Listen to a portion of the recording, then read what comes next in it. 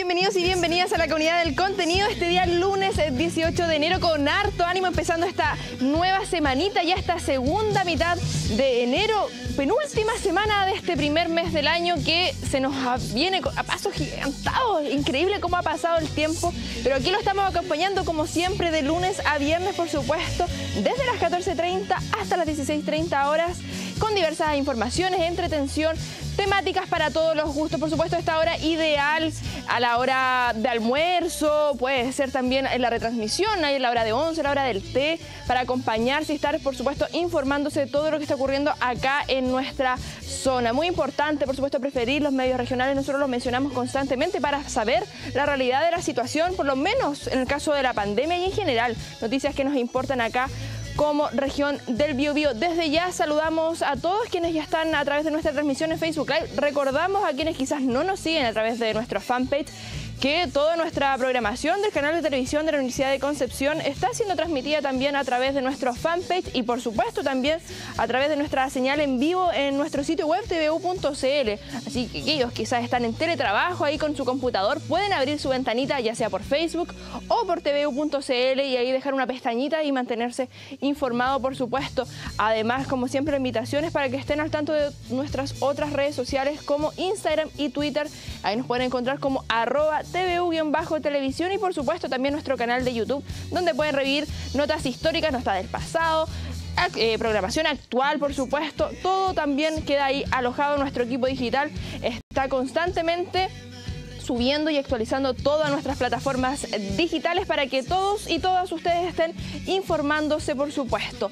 Quienes están también al tanto de todo lo que está ocurriendo son nuestros compañeros en terreno y de esto ya tomamos contacto inmediatamente con nuestro compañero Javier Monsalves. ¿Cómo estás, Javier?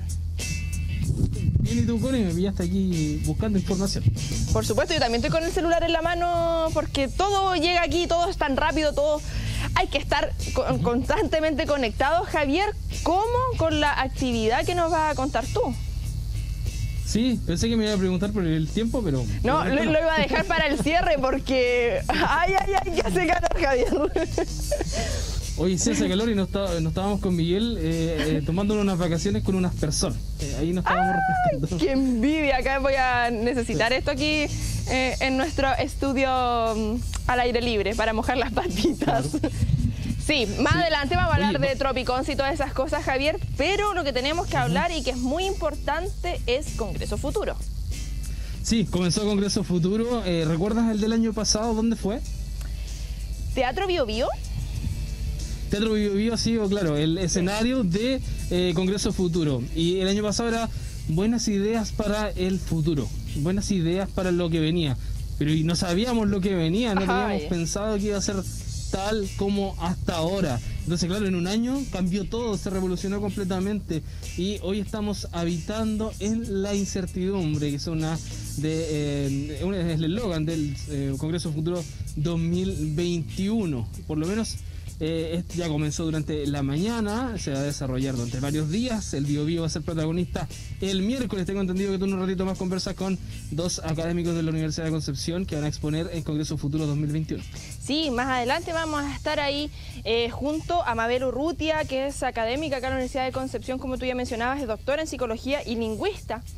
Además con eh, el profe Ricardo Barra. Yo le digo profe porque él es ya de la casa, Javier, eh, increíble, el, doctor en Ciencias Ambientales y director del Centro EULA, por supuesto, acá.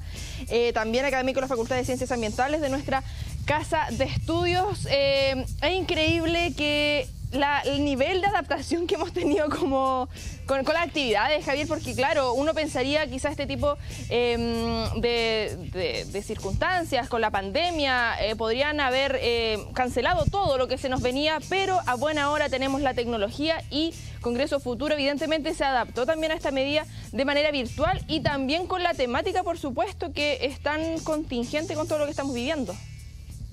Claro que sí. Oye, eh, veamos el tráiler, una especie de tráiler que hicieron de Congreso Futuro 2021, de qué se va a hablar, qué es lo que ocurre con, nuestro planeta eh, hoy, porque quizás todo lo que aprendimos hasta ahora se revoluciona completamente. Así que si pasamos a ver el tráiler, luego lo comentamos con él. Pasemos a verlo. Podría haber sido un meteorito, un tsunami Podrían haber vuelto los dinosaurios o llegado los marcianos. Podría haber sido una bala, una bomba o una guerra. Pero fue una pandemia. Encerrados desde nuestra ventana miramos un mundo paralizado. Quedamos desconcertados, atónitos, tratando de imaginar cómo seguir mientras se desmorona lo que habíamos creado. ¿Qué será del futuro? ¿Qué hacemos con lo que sabíamos y ya no sirve? ¿Cómo desaprendemos lo antiguo para abrir paso a lo nuevo? El destino se nubló y hoy navegamos a la deriva tratando de leer las señales entre la niebla. ¿Podemos entender lo que no conocemos? Hoy sabemos que somos pequeños, que nada es absoluto, estable, permanente. Necesitamos reconstruirlo todo. Relaciones, estructuras, códigos, nuevos sentidos para vivir en la fragilidad, nuevos acuerdos para atrevernos a ser diferentes, nuevos equilibrios para recorrer otros caminos. Recuperar lo humano como la más moderna de nuestras tecnologías. Hoy, por fin, y aunque nos asuste este salto al vacío, nos podemos reinventar. Congreso Futuro, habitar la incertidumbre. Oye, súper bueno Potente. de película, de verdad. Sí, y sabes, Muy, muy bueno. mientras lo veía y al inicio donde menciona que qué podría haber pasado, podrían haber llegado los dinosaurios, extraterrestres. Eh, recuerdo una conversación con Hugo Varela al inicio de esta pandemia, que fue, que era como, ¿qué más va a pasar? Me decía Connie, ¿qué más va a pasar? ¿Van a llegar alienígenas? Y claro, ahí también se hace mención a eso, porque es increíble lo que hemos estado viviendo en los últimos, bueno, en el último tiempo, los últimos cinco años, Javier, eh, en general, de la revolución digital, eh, con el estallido social y ahora se nos suma una pandemia. Y como tú mencionabas, esta actividad tiene su bajada local, que es tan importante con las tres universidades acá, la Universidad de Concepción, la Universidad Católica de la Santísima Concepción y la Universidad del Bío Bío, en dos eh, paneles de lujo que se van a desarrollar y, por supuesto, eh, se va a estar transmitiendo eh, a partir de las 9.30. 9.30 de la mañana. Hoy en congresofuturo.cl se pueden ver las distintas actividades, se hace la bajada regional. Ahí eh, ingresamos a, a www.congresofuturo.cl, vamos hasta el final de la página y pinchamos, por supuesto, en la octava región. Son nueve las regiones que participan de Congreso Futuro, eh, organización entre el gobierno regional y eh, nuestra región, eh, por supuesto, con la Universidad Católica de la Santísima Concepción, la Universidad del Biobío, por supuesto, la Universidad de Concepción. Eh, parte a las 9.30 eh, la actividad este miércoles. eh, comienza el streaming a las 9.30 hasta las 10 y el primer panel tiene que ver con ciber ciudadanía y neurociencia. Ahí participan cuatro expositores de 10 a 11 de la mañana. Luego ya hay preguntas para el público en general. Hay una hay un sitio especial, un banner especial para ser público activo y, y ser partícipe, por supuesto, de Congreso Futuro y de las diversas actividades. Luego hay una pausa a las 11.15 hasta las 11.30 y después viene el panel número 2 que es de comunicación eh, de la ciencia en torno al cambio climático y cuatro nuevos exponentes, por supuesto, en esta materia. Así que la invitación está más que hecha para este miércoles cuando el BioBio es protagonista, pero el Congreso Futuro se desarrolla durante todas estas jornadas, por supuesto, en congresofuturo.cl. Claro, de hecho ahí estamos viendo, como tú mencionabas, el programa que aparece ahí en el sitio web, como tú lo detallabas, la ceremonia de inauguración de 9.30 a 10, más abajo el panel eh, de ciberciudadanía y neurociencia con todos los expositores que, como tú ya lo habías mencionado, son uno de cada universidad y además hay un invitado eh, internacional. Luego la sección... Claro, de las preguntas al público, que me imagino que ahí también la invitación es para que eh, quienes están interesados, por supuesto, estén activos, participando de este tipo de actividades. Insisto, tenemos que ver lo positivo, Javier, de este tipo de plataformas que tenemos la oportunidad de disfrutar ahora, donde podemos, eh, desde nuestros dispositivos móviles, desde nuestros celulares, de nuestras tablets o de nuestros computadores, estar ahí activos en temáticas tan importantes que muchas veces no se dan las instancias para conversar y acá tenemos a los profesionales, a los expertos, a los académicos, donde van a empezar a aclarar todas estas dudas.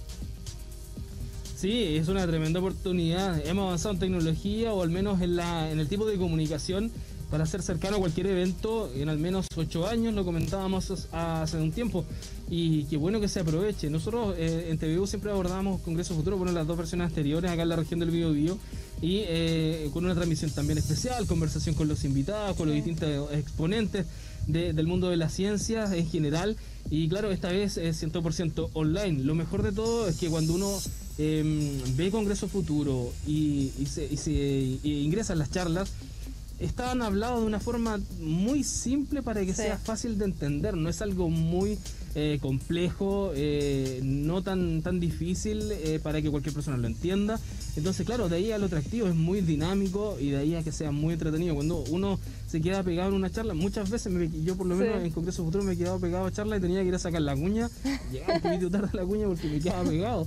Porque claro, hay cosas muy a lo mejor que se ven un poco lejanas, pero cuando te las explican en simple, te llama mucho la atención. Eso es lo importante de la divulgación científica, que se hace esta bajada con un lenguaje coloquial, los académicos, el, rol que tienen es tan importante, sobre todo en estos momentos donde las fake news y todo el acceso que tenemos a través de los dispositivos móviles puede ser un arma de doble filo.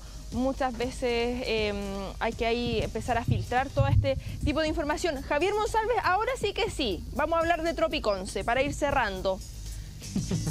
¿Cómo? Oye, sí, pero antes que quería hacerte un comentario, que por lo menos Congreso Futuro este año, a mí hay un personaje que me llama mucho la atención, que es Premio Nobel de Física y que participó con Christopher Nolan en la, en la ejecución, en la confección, en, todo lo que tiene que ver con Interestelar. Eh, no sé si te ah. gusta esa película, me, encantó. Javier, yo no la he visto, todos me dicen que la tengo que ver, pero es que ah, la, tengo, la tengo en la lista, la tengo en la lista. 2014, Connie. Sí, pero bueno, a veces no tengo tiempo, Javier. no me da el tiempo. te, comprendo, te entiendo. Eso es, lamentablemente. pero oye, eh, voy a estar, por lo menos yo muy atento a esa charla y la van a poder revivir también eh, en congresofuturo.cl, pero eh, uno de, los, de, los de los expositores que más me llama la atención, hay un montón, por supuesto. Lo voy a anotar, lo voy a anotar. sí, anótalo, anótalo. Para Mañana ir, de Interestelar. Súper, súper. Ahí está el latito entonces, ahí la, recomendación también de Javier Monsalves. ¿Sensación térmica a esta hora de la tarde, Javier? Calor, mucho calor, pero no tanto como incluso en la mañana. Anduvimos Chihuayante con. Eh, es que Chihuayante otro Después estuvimos en las sillas. Sí, estuvimos en las sillas de Villavista y en la cancha de tenis. Y ahí sí que hacía calor, de verdad. Pero ahora, con nuestros profesores, estamos felices. Envidia, compañero. Un abrazo a la distancia, que tengas buena tarde y buen inicio de la penúltima semana de enero, Javier, junto a Miguel Formas. Igualmente, eh, dice que muchas gracias también, Miguel. Ahí están nuestros compañeros en terreno y bueno, estábamos hablando con Javier respecto a cómo está la sensación térmica. Vayamos a ver el Tropiconce porque se nos viene una ola de calor que ya podemos sentir evidentemente, por lo menos acá en la capital de la región del Biobío y ahí estamos viendo en pantalla tenemos eh, en este momento 25 grados. Recordemos que ahí el sitio de Meteorología de Chile eh, hace esta actualización cada una hora. Esta última actualización fue a las 14 horas y ahí está ahí teníamos 25 graditos, eh, totalmente despejado por supuesto. Para mañana martes 19 se viene una máxima de 23, pero yo creo que puede ser hasta un poquito más con una mínima de 12 totalmente despejado y este miércoles 20 una máxima de 22 con una mínima de 13 grados, de 13 grados bien digo, ahí eh, con un par de nubecitas y tenemos Lebu 25 grados también y Los Ángeles, hoy pobre, pobre, pobre ahí personas que se encuentran todos en Los Ángeles con 35 grados, porque la Dirección Meteorológica emite este aviso eh, por ola de calor en ocho regiones eh, que van entre Valparaíso y Los Ríos y se van a prolongar hasta mañana, martes 19 de enero. Y bueno, evidentemente ahí en Los Ángeles saben de calor, saben de aumento de temperatura. Y claro, tenemos esta ola de calor donde tenemos que eh, cuidarnos evidentemente, estar con ahí el vasito de agua hidratándonos, eh, no estar a las horas de mayor exposición al sol. Eh, lo hemos conversado con diversos especialistas, diversos médicos, que es súper bueno estar expuesto al sol, pero en un horario no de 12 a 4 de la tarde, donde nos puede generar problemas a la piel evidentemente. La vitamina D es fundamental que viene de nuestro sol, pero en horarios de la mañana tempranito aprovechar también de quizás abrir las ventanas, estamos en cuarentena, buscarle ahí el arreglo, la solución. Hasta yo he visto en Twitter muchas personas que viven en departamentos sin terrazas, compraron piscinas eh, de bebé, de guaguitas chiquititas y las pusieron en el living de su casa. Ahí buscando, ingeniándose las alternativas para poder pasar, por supuesto, esta ola de calor. Pero lo que sí tenemos claro es que nosotros los vamos a estar acompañando a ustedes hasta las 16.30 horas con diversas temáticas. Y ustedes lo saben, todos los días estamos destacando diversas eh, disciplinas artísticas. Eh, es una misión que tenemos como la comunidad del contenido, como canal de televisión de la Universidad de Concepción, por supuesto, visibilizar las diversas disciplinas artísticas y el día de hoy vamos a hablar respecto a la literatura, pero la literatura en medio de la pandemia no se me había ocurrido y a buena hora a nuestros próximos invitados se le ocurrió hacer una historia relacionada a lo que estamos viviendo en esta pandemia. Saludamos a Álvaro Acuña y a Fel Roca, que son autores del libro Entre Balcones. ¿Cómo estás, Álvaro? Hola, ¿qué tal? Un gusto, muy bien, muchas gracias. Gracias por acompañarnos. Y a Fel, ¿cómo estás? Bienvenido. Muy bien, muchas gracias. Gracias por bienvenirme. Oye, me encantó el, título de partida entre balcones. Eh, Álvaro, cuéntanos un poquito. Tú eres eh, académico, también eres experto en psicología eh, positiva y también has escrito, este es tu cuarto libro. Yo ya tenía experiencia en cuanto em, a la creación de, libros. ¿Cómo fue el proceso de crear, por supuesto, esta, este libro de Entre Balcones? Que me encantó el título, debo admitirlo. Qué bueno que te gustó el título. Mira, la verdad es que como estamos viviendo en pandemia y en la misma contexto de siempre estar recomendando o buscando formas para aprender a vivir en una situación nueva, ¿no? Situación de encierro, como, como dices tú, y están ahora ustedes confinados, en cuarentena. ¿qué hacer para no volverse loco? ¿Qué hacer para para no eh, desesperarse con tanta mala noticia? Y aparte que los medios de comunicación están siempre eh, enfocándose en, en, esto, en estos temas de lo, informando, lo que está bien, ¿cierto? De los contagios. Entonces, en esa búsqueda de qué hacer, eh, bueno, surge la idea siempre de escribir, como, como tú dijiste, yo ya he escrito otros libros, y surge esta, esta idea de escribir de algo de, la vida en pandemia, ¿no?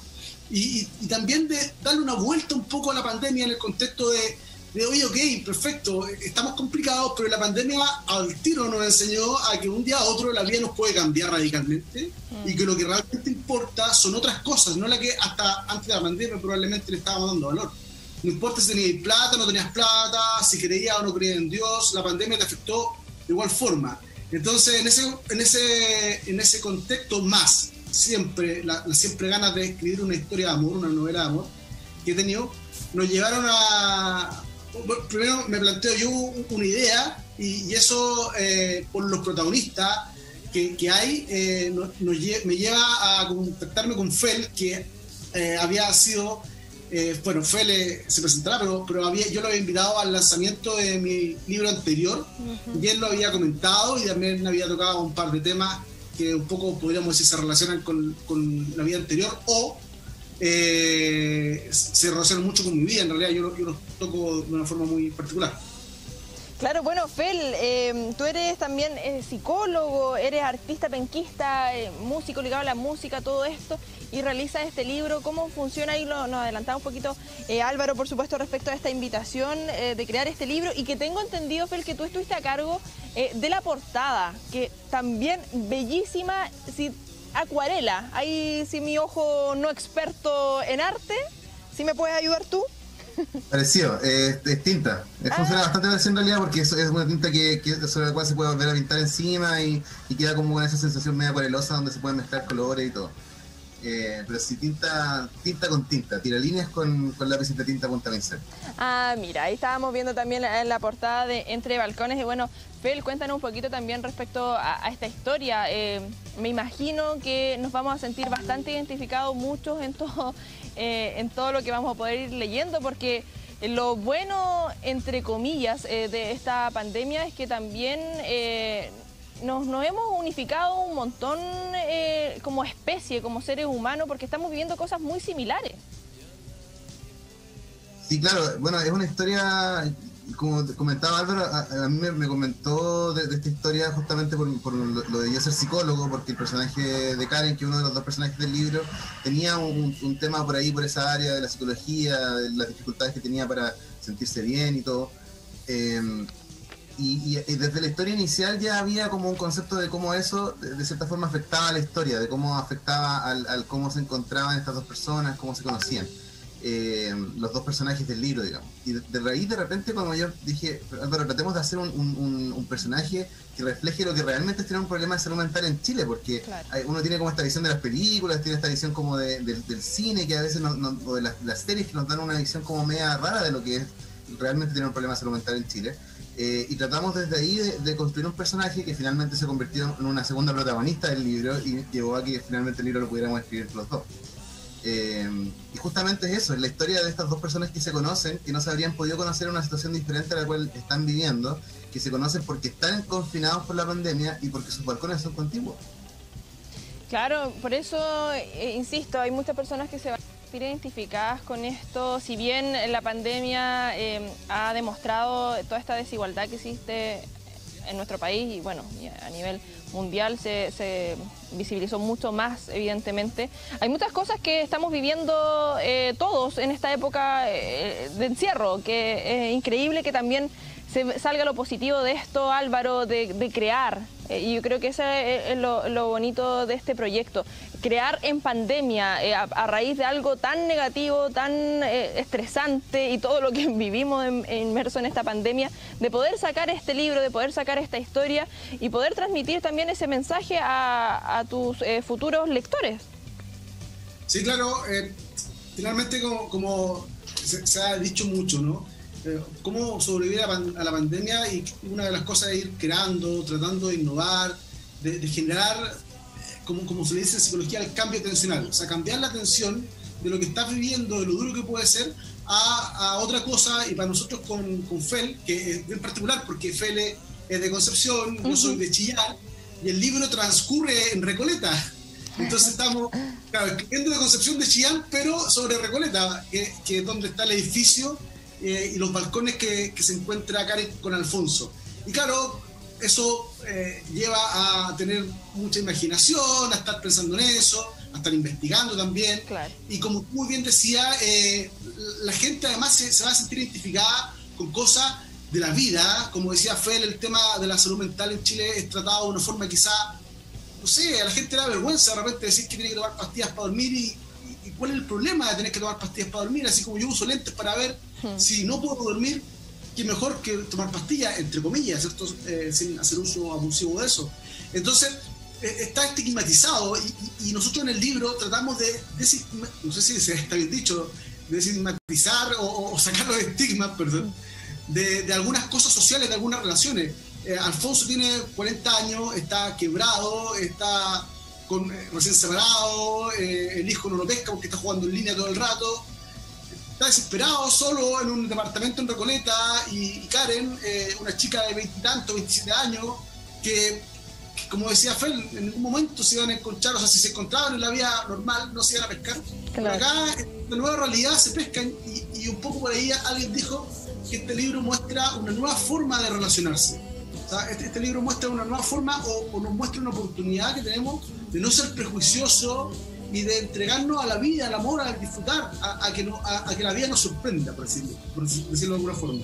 Claro, bueno, y Fel también dentro de este, de este contexto en que nos hemos dado cuenta que hay que vivir ahora, que hay que atrevernos, que eh, dejar todos esos miedos y algo que dice Álvaro muy importante respecto eh, al, tema de la salud mental, de, normalizar ciertas cosas que ocurren, eh, sacar todos estos, estos prejuicios, este tabú que existe en cuanto a la salud mental. Bueno, tú como psicólogo, como has visto también eso, y muchos expertos han hablado que si bien hablamos de la ola de la pandemia, que se vienen las lamentables altas cifras y lamentablemente siguen aumentando los muertos, pero se habla también de una segunda ola post pandemia respecto a la salud mental.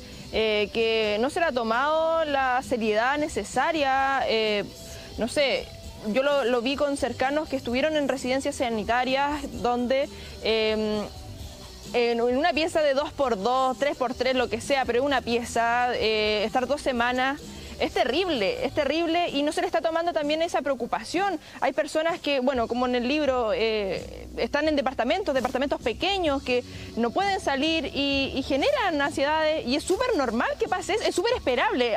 yo creo que ese es el término, Fel, que eh, se ocupa mucho en, en el ámbito de la salud mental, que es esperable que ocurra esto. Claro. Sí, o sea, yo creo que nosotros vivimos en un país donde hace tiempo no se estaba considerando tanto la salud mental de las personas. O sea, eh, tenemos índices de depresión muy altos. El estallido social también es una prueba de, lo mucho que había guardado dentro de, muchas personas, digamos, sobre cómo funciona el sistema, cómo son alienadas por el sistema. Eh, y cómo eso de repente aparece y explota en ese contexto y además después hay que recomprimir todo aquello en la pandemia, reorganizar nuestra vida para adaptarnos a una situación muy difícil que toda la gente se está adaptando, entonces tampoco hay soluciones tan claras. Eh, obviamente eso hace que, los trastornos se vean de otra forma, pero justamente... Mm. Eh, creo que igual va por ahí el, libro y, es algo interesante porque si bien Karen vive obviamente las dificultades de la pandemia, eh, su tema viene desde antes de la pandemia. Y es, interesante ver cómo pasa, y pasa muy a menudo, de hecho hay todo un concepto de crecimiento postraumático que, existe, eh, de cómo las personas que tienen un problema previo a otro problema que se genera de repente, eh, transforman ese problema. Y asimismo, por ejemplo, Alfonso es una persona que no tenía ese problema antes de la pandemia, venía desde otra, desde otra vereda, digamos, de otro, tipo de problema, y la pandemia en sí quizás sí se transforma más en un problema para él. Y es interesante ver cómo eso va conjugándose, porque claro, al final entre ellos mismos eh, van apoyándose y al mismo tiempo enseñándose a hacer frente a algo que ninguno de los dos realmente sabe cómo enfrentar. Claro, por supuesto. Y bueno, Álvaro, sobre todo acá en, la región del Biobío, que seguimos en cuarentena y vamos a seguir por lo menos eh, tres semanas más en cuarentena. Eh, una alternativa a este libro, por supuesto, para entretenernos, para aprender, para ver lo positivo, de, que es difícil muchas veces pero ver lo positivo también que puede ser el encierro como conocer a alguien, ahí como la historia que ocurre en, entre balcones. Sí, claro, siempre abrirse la posibilidad de que, como decía anteriormente, la vida te sorprenda. Oye, buena la, muy buenas las imágenes de, apoyo que, que, tienen, hay un puntito, una, una, estrellita para el equipo de producción. eh, y como, porque básicamente así nos imaginábamos, nosotros que escribimos y el que lea, ¿cierto? Se imagina lo que está sucediendo en, lugares distintos. Y claro, leer siempre es bueno, eh, leer siempre es bueno, y te, transporta eh, y te permite vivir eh, otro mundo que el que estás viviendo. Y, yo creo que Entre Balcones va a hacer mucha sintonía con la gente, habla de las cuarentenas, habla del primer retiro del 10%, a propósito de, Alfonso que, está recién separado y pone las pensiones. Hay todo un tema ahí, entonces la gente se va a sentir identificada con el tema de, las mascarillas, el alcohol gel, de lavar las cosas cuando va a comprar. Estamos de, no hacerlo a la fuerza, sino que mostrar esa realidad para que la gente se ría un poco eh, o, se emocione, porque el libro es una montaña rusa de emociones, ¿ah? de, la alegría y la felicidad, a la pena, a la tristeza, a la rabia. Eh, yo creo que, se vive mucho. Y, es un, libro de dos personas y, de una sociedad como la que vivimos. ¿ah? Tratamos de hacerlo lo más acorde a la realidad posible para que la gente se sintiera identificada y, aportar un poquito con un grito de arena, como muy bien tú decías, eh, respecto a, entregar algo para que se haga la vida más entretenida en, la pandemia y nos vayamos acostumbrando hasta que esto tenga un fin, va a tener un fin. probablemente no vamos a volver a vivir como antes, pero ya vamos a controlar, ya están las vacunas, yo soy optimista y esperanzado. Yo creo que esto ya va, a terminar este, este, el 2022, vamos a andar de una forma distinta, mejor, vamos a dejar más tranquilos. Claro. etapas que, tenemos que vivir y, bueno, hay que hacer, sí, tenemos que hacernos cargo de cómo eso eh, nos afecta en las emociones y hacer cosas, por deporte, para liberar endorfina, leer, estar en contacto con la naturaleza, dormir bien, dormir bien es súper importante, eso sabe muy bien Fel como psicólogo, que es muy importante dormir bien, carretear aunque sea por Zoom también. es una alternativa, por supuesto. De, contactarte con, la, con las personas que te contactaban siempre. Yo me acuerdo, un, un amigo de Santiago tiene un juego completo que hace con su familia eh, desde las distintas partes donde están instalados para no perder esa cotidianidad, aunque sea por la pantalla del computador. Claro, y a lo mejor me estoy adelantando un poco, Álvaro, pero claro, viendo todo esto con optimismo, por supuesto, em, las vacunas, esperar que esto pase, que sigamos eh, avanzando despacio y quizás retomemos lo más pronto posible nuestra vida. ¿Habrá un Entre Balcones 2 cuando volvamos a la normalidad? ¿Y qué va a pasar con nuestros protagonistas en la normalidad? ¿Esta historia continúa o no continúa?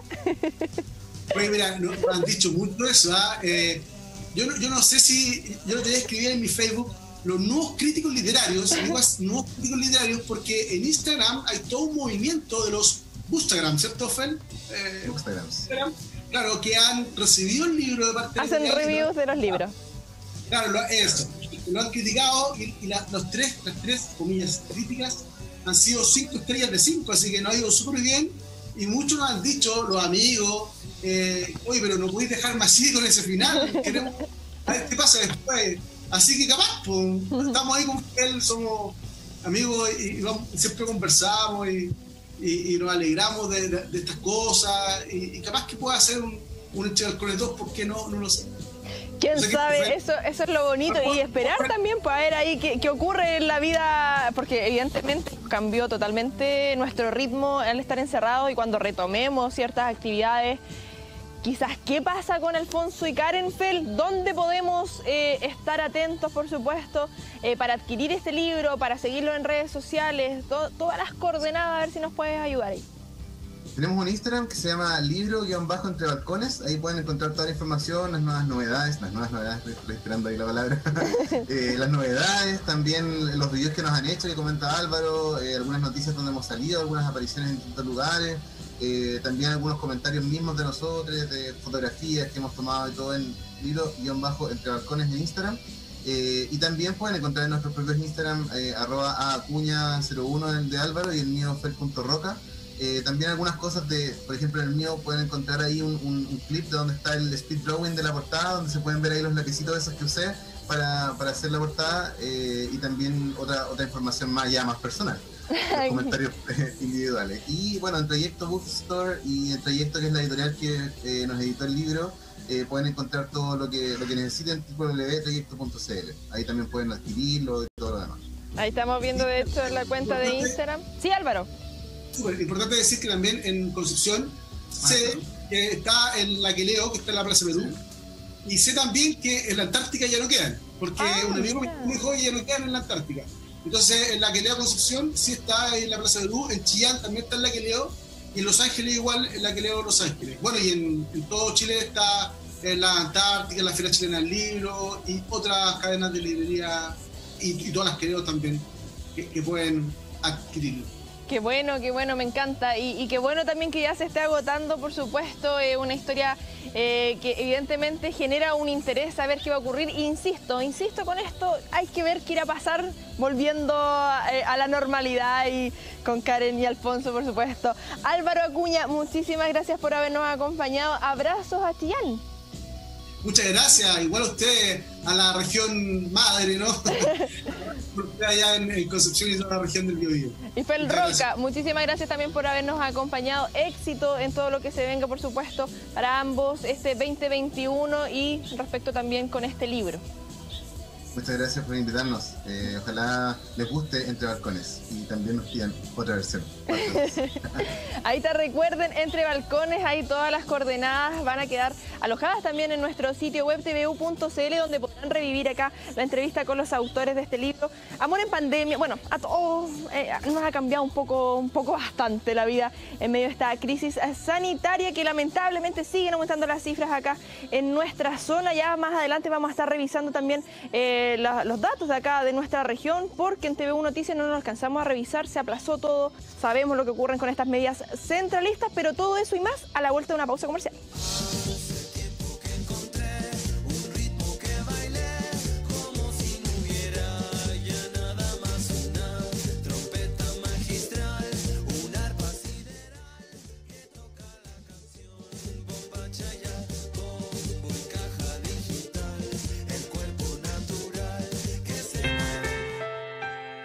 No todos tienen la oportunidad de, ver la importancia de la fauna nativa desde que son pequeños. El problema principalmente es el poco conocimiento de la gente en general de la fauna silvestre y cómo poder ayudarla. El Centro de Rehabilitación de Fauna Silvestre de la UDEC se dedica a la investigación en fauna silvestre y a la rehabilitación del daño que generan los humanos a la fauna. Su motor principal son los alumnos de medicina veterinaria que voluntariamente se integran al centro de rehabilitación. Y extrapolar todos estos conocimientos en especies que están poco estudiadas y tampoco se conocen. La idea es que a medida que nosotros vamos entregando información, recopilando información, podamos transformar a la sociedad. Educar a las personas de que los animales están porque tienen una función en el ecosistema y no son dañinos para nosotros. Que exista un respeto real hacia la naturaleza de nuestro país.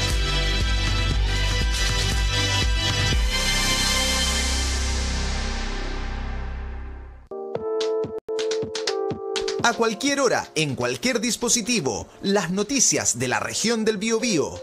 tvu.cl, el sitio web del canal de televisión de la Universidad de Concepción. Los temas destacados del día, el trabajo en terreno del departamento de prensa y todos los programas que emitimos en TVU. También tendrás acceso directo a todas nuestras redes sociales, Facebook, Twitter, Instagram y YouTube. Te invitamos a visitar tvu.cl y enterarte de las noticias de tu región tvu.cl, el sitio web del canal de televisión de la Universidad de Concepción.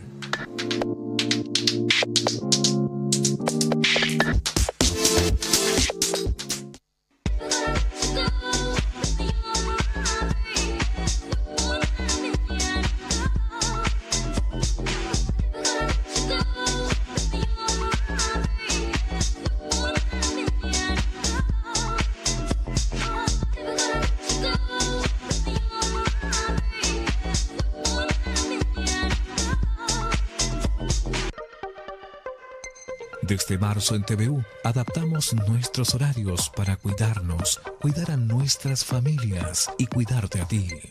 De lunes a viernes TVU Noticias. Luego, la comunidad del contenido. Somos TVU, el canal de televisión de la Universidad de Concepción.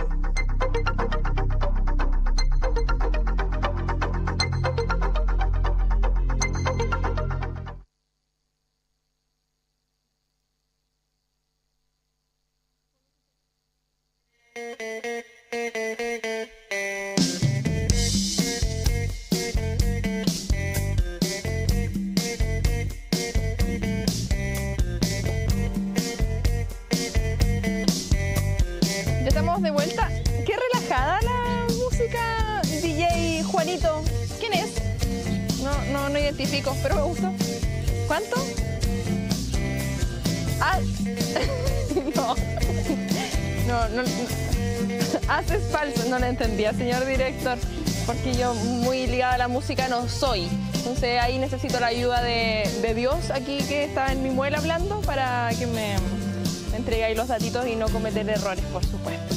Recuerden que los seguimos acompañando hasta las 16.30 horas de lunes a viernes con diversas temáticas y al inicio de nuestro programa nuestro compañero Javier Monsalves nos hacía un adelanto respecto a todo lo que va a ocurrir este día miércoles en Congreso Futuro, pero ahora vamos a profundizar respecto a esto y para hablar de aquello nos acompaña Moira Delano, directora de Relaciones Institucionales y alumni UDEC. ¿Cómo estás, Moira? Muy bien, Connie. ¿Y ustedes qué tal? ¿Cómo están? Bien. Hoy bien, discúlpame. Entre tanto calor aquí, eh, me, me- un poquito de, bochorno. Pero tenemos a más entrevistados porque van a ser los protagonistas de los paneles, por supuesto, que se van a desarrollar este día miércoles en la bajada local de eh, Congreso Futuro. Y tenemos a Mabel Urrute, que es académica acá de la Universidad de Concepción y doctora en Psicología y Lingüística. ¿Cómo estás, Mabel? Hola, Connie, muy bien. Gracias por la invitación. Un gusto. Y también tenemos a Ricardo Barra, de la casa, por supuesto, doctor en Ciencias Ambientales, director del Centro EULA y académico de la Facultad de Ciencias Ambientales acá de la Universidad de Concepción. ¿Cómo está, profe? Muy bien, aquí pasando la cuarentena, pero bastante, bastante bien hasta ahora. Por supuesto, ahí todos con el teletrabajo, cuidándonos, por supuesto, para cuidarnos nosotros y cuidar al resto, Moira, y evidentemente adaptándonos eh, de todas las maneras posibles ya en estos 10 meses de pandemia y cómo no se iba a adaptar también Congreso Futuro en su versión 2021.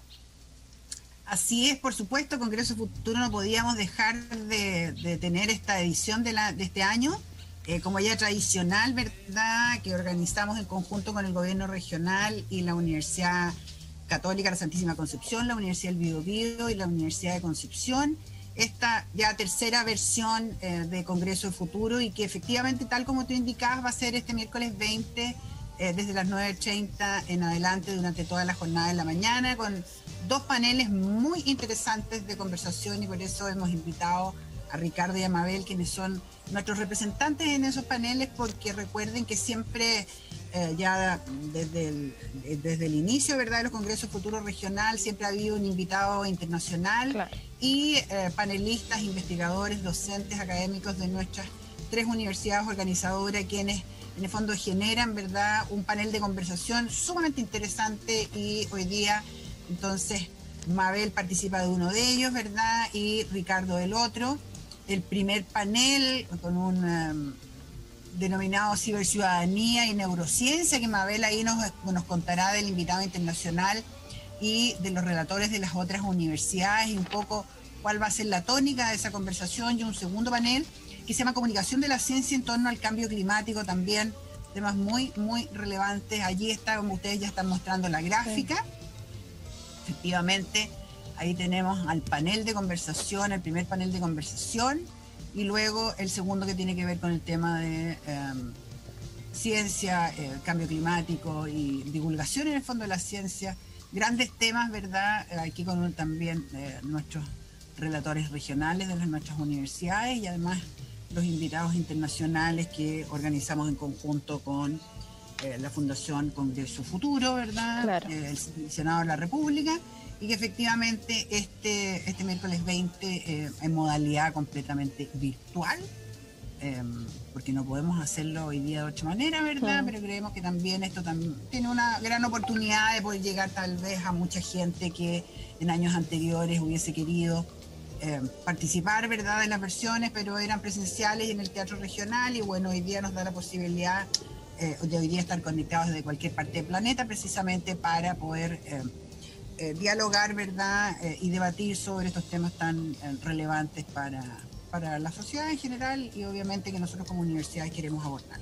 Claro, Moira, eh, antes de ir detallando con nuestros invitados y ahí los panelistas de este día miércoles, me gustaría que habláramos respecto al rol también de este tipo de actividades y el rol que está teniendo la Universidad de Concepción, eh, por supuesto, eh, en difundir estas temáticas tan importantes. Lo hablábamos al inicio del programa con nuestro colega Javier Monsalves y él lo mencionaba cuando le ha tocado reportear los años anteriores, quedaba ahí un poco como se dice coloquialmente, pegado con, las, con los paneles, porque son temáticas muy interesantes y son abordadas por expertos, que eso es lo importante, sobre todo en esta época donde la información y la mala información abunda, las fake news, sabemos lo que ocurre con esto. Acá tenemos un encuentro donde hay especialistas, donde se abordan temáticas muy importantes y lo más importante, se abordan de una manera eh, con un lenguaje eh, coloquial, con una bajada para toda la ciudadanía.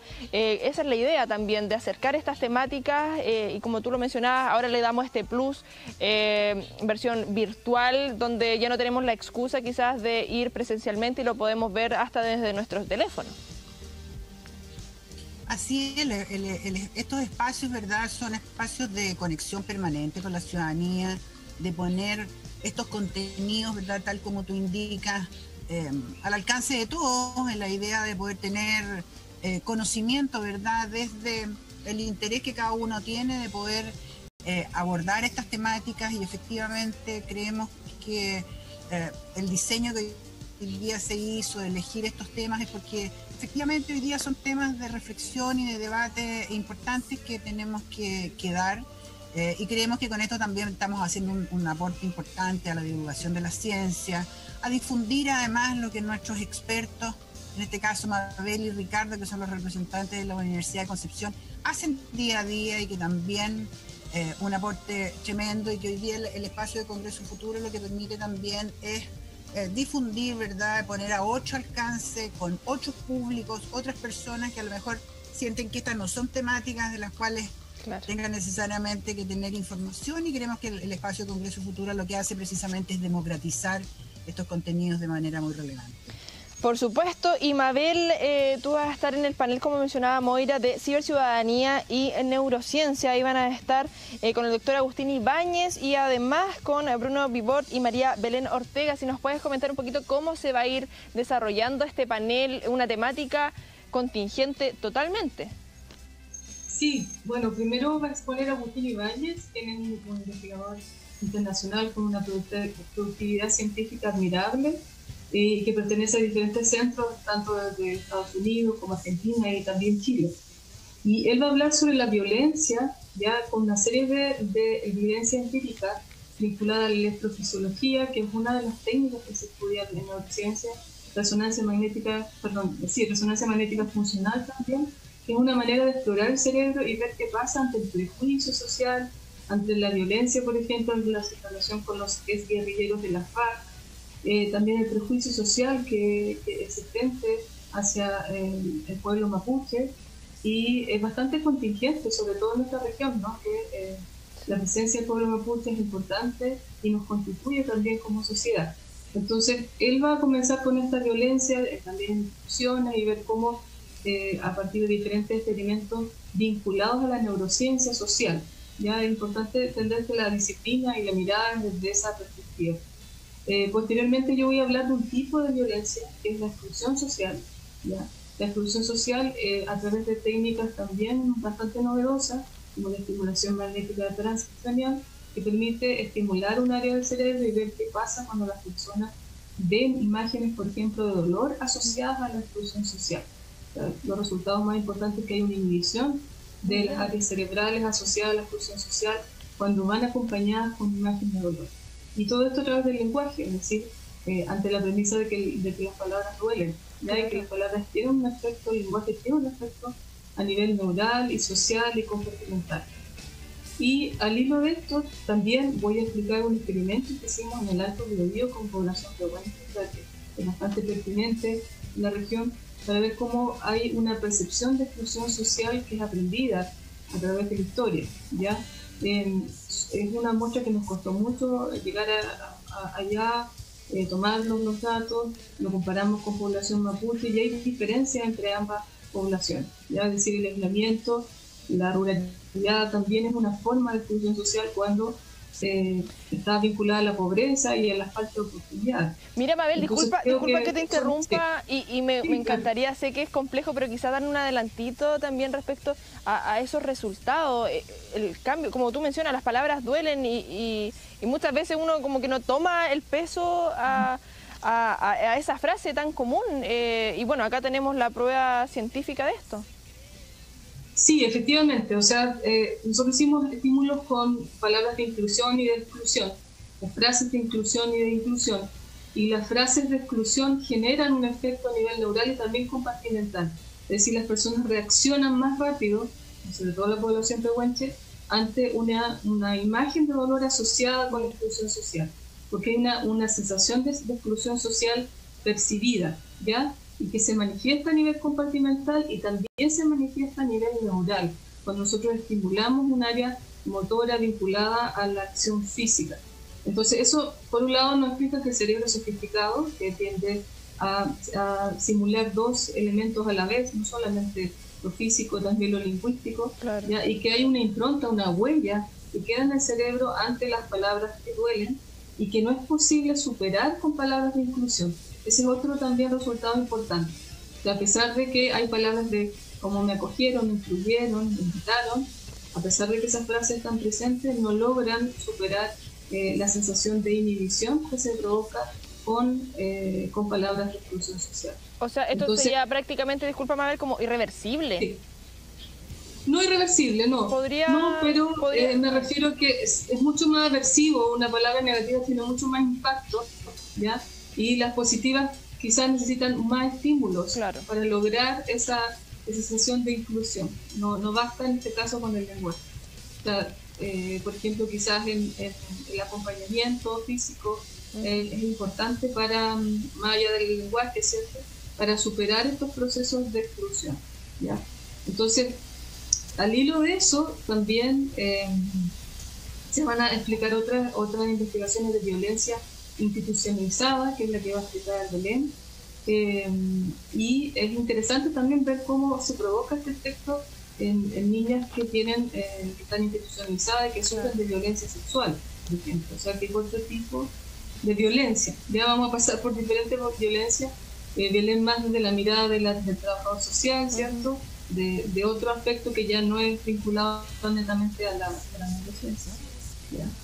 Y finalmente Bruno eh, va a exponer aspectos relacionados, relacionados con em, la exclusión social cibernética. Es decir, nosotros hemos aprendido durante este, este año, ¿cierto?, que es muy difícil trabajar a todos por igual con redes, es decir, que hay muchos estudiantes que tienen problemas de acceso. Lo hemos visto en, en zonas rurales, han salido muchas noticias al respecto. Y ese también es un tema de participación ciudadana, ¿ya? que no solamente tiene que ver con, em, en este caso, con la participación física, ¿no? sino también con, eh, con los elementos que cuenta la persona para poder estar conectado. El computador que tiene, la red que tiene, el lugar donde está. Entonces, esta desigualdad social también se ha visto a partir de, de, estos ejemplos. Y es un poco lo que hemos tratado de nivelar institucionalmente, por ejemplo, para poder llegar a todos los estudiantes. Oye, es súper interesante, Mabel, y claro, eh, uno, bueno, por eso están los expertos y por eso también se da esta instancia para dar a conocer estos resultados, porque claro, uno no se imagina todo lo que ocurre eh, en nuestro cerebro eh, con, las palabras, con lo que uno ve. Siempre está como la sospecha de que puede pasar esto, pero claro, acá tenemos eh, las pruebas y también lo que tenemos pruebas, eh, profe Ricardo, es la importancia, por supuesto, de la comunicación de la ciencia en torno al cambio climático, que hace una temática que yo creo y me arriesgaría a decir que los últimos cinco años eh, se ha tomado, eh, por supuesto, la palestra y a buena hora también estamos preocupados de esto. Bien, sí, eh, Connie, creo que estaba pensando un poco en lo que decía Mabel, qué, importante es el lenguaje, justamente uno de los temas que nosotros vamos a abordar en, nuestra, en nuestro panel tiene que ver un poco con el lenguaje en que comunicamos el, cambio climático. Y el experto noruego Per Espen es un especialista, un psicólogo, digamos, especialista y economista especialista en, en cómo transformar, digamos, esta catástrofe global, ambiental, esta crisis planetaria en una tremenda oportunidad de poder comunicarnos. Y claro, cuando uno habla de comunicación empiezan a emerger emociones, asombro, miedo, etc. ¿ya? Y él, eh, aprovechando su expertise, experiencia y conocimiento, digamos, nos va a ilustrar seguramente en cómo él recomienda ¿no? Que se pueda comunicar un tema tan complejo como es el cambio climático para un público amplio y que no solamente se comunique, sino que lo motive a actuar, porque sin duda uno de los problemas más, más relevantes, digamos, que, que, tiene eh, este problema planetario es que todos, todos tenemos que actuar. No solo los grandes países, los que emiten más, los que contaminan más, sino todos, los grandes y los chicos. Todos tenemos una obligación, ¿no es cierto?, de, de ir avanzando en, el, combate de esta tremenda crisis global que se une, sin duda, a la pandemia y a la otra crisis global, que es la crisis de la desigualdad, que también es un problema global, tremendo, que estamos enfrentando como sociedad contemporánea. Entonces, sin duda, esto es una tremenda oportunidad para dar a conocer de qué manera la ciencia puede impactar en forma mucho más directa a la sociedad en este habitar la incertidumbre. Fíjense ustedes que quizás la ciencia es el oficio mejor preparado para trabajar con incertidumbre, porque nosotros mm, estamos acostumbrados a trabajar con incertidumbre, con probabilidades, con que nosotros en la ciencia aceptamos que podemos estar equivocados. Fíjese tú, lo que no aceptan ni los políticos, ni los empresarios, ni los grandes inversionistas. ¿ya?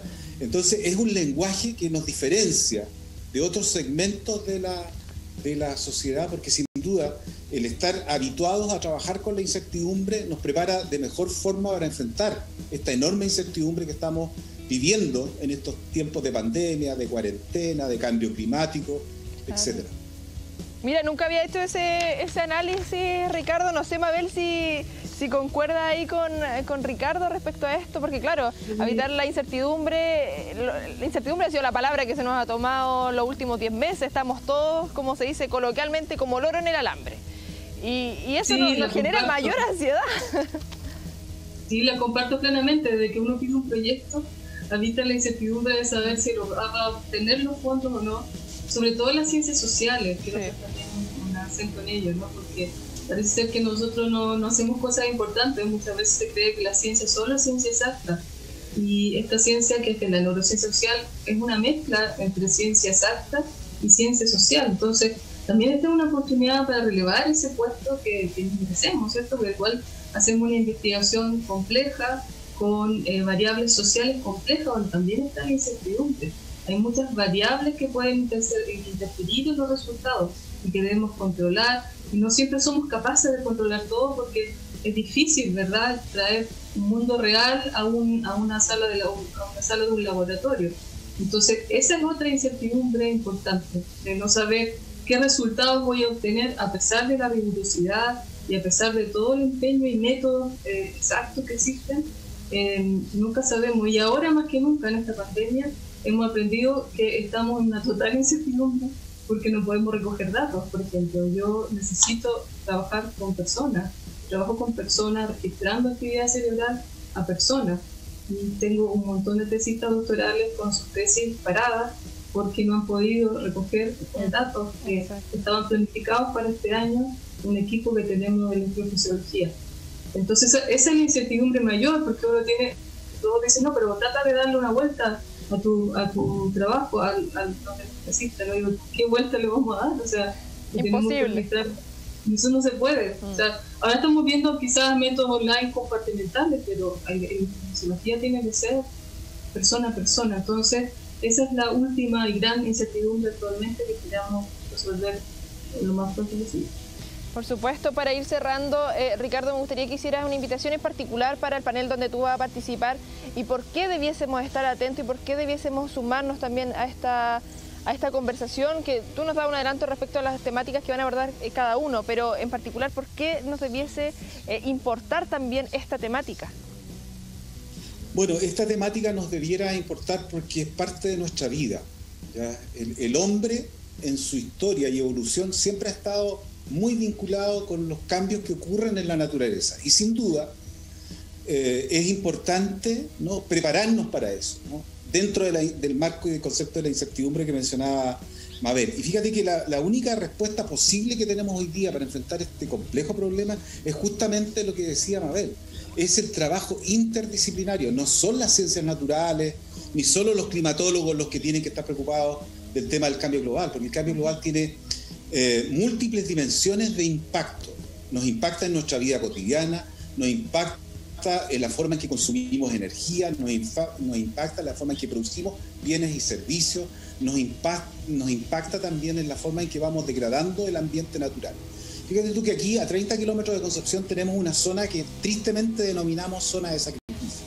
Mm. Cuando uno se pone a pensar, todas las zonas de sacrificio ambientales que hay en Chile están íntimamente relacionadas con la generación de energía y con la generación de energía a partir de la quema de carbón, que afortunadamente, y yo creo que es tiempo, y las decisiones que se están tomando en ese sentido son muy correctas, esto va a quedar en la historia. El carbón es un material muy, muy importante, fue un material muy importante para, para un proceso y periodo de la historia de la humanidad, pero hoy día nos damos cuenta de que seguir quemando carbón nos está produciendo un tremendo daño en términos de las emisiones que genera, en términos de los impactos locales que tiene, como el caso de, nuestra comuna vecina de Coronel, o a nivel global. Entonces yo creo que el, enfoque que tenemos que trabajar para un tema tan complejo como el cambio climático, sin duda, como lo decía al principio, tiene que ser este enfoque de múltiples, múltiples disciplinas y qué mejor que ¿no? Eh, el, estudio interdisciplinario para abordar la complejidad que tiene ¿no? Esta, este cambio que estamos observando, cambio debido a la actividad humana. A pesar de que hay algunos que todavía no creen que es el hombre que está causando este, este proceso de cambio climático. Pero es, por lo menos existe un acuerdo de más del 99% de los científicos a nivel global, ¿ya? que esto es producto de nuestra actividad. Entonces lo que tenemos que hacer es cambiar la forma en que hacemos nuestras actividades. Yo creo que fíjate tú que la pandemia nos ofrece una oportunidad con todos los problemas que esto tiene, ¿no?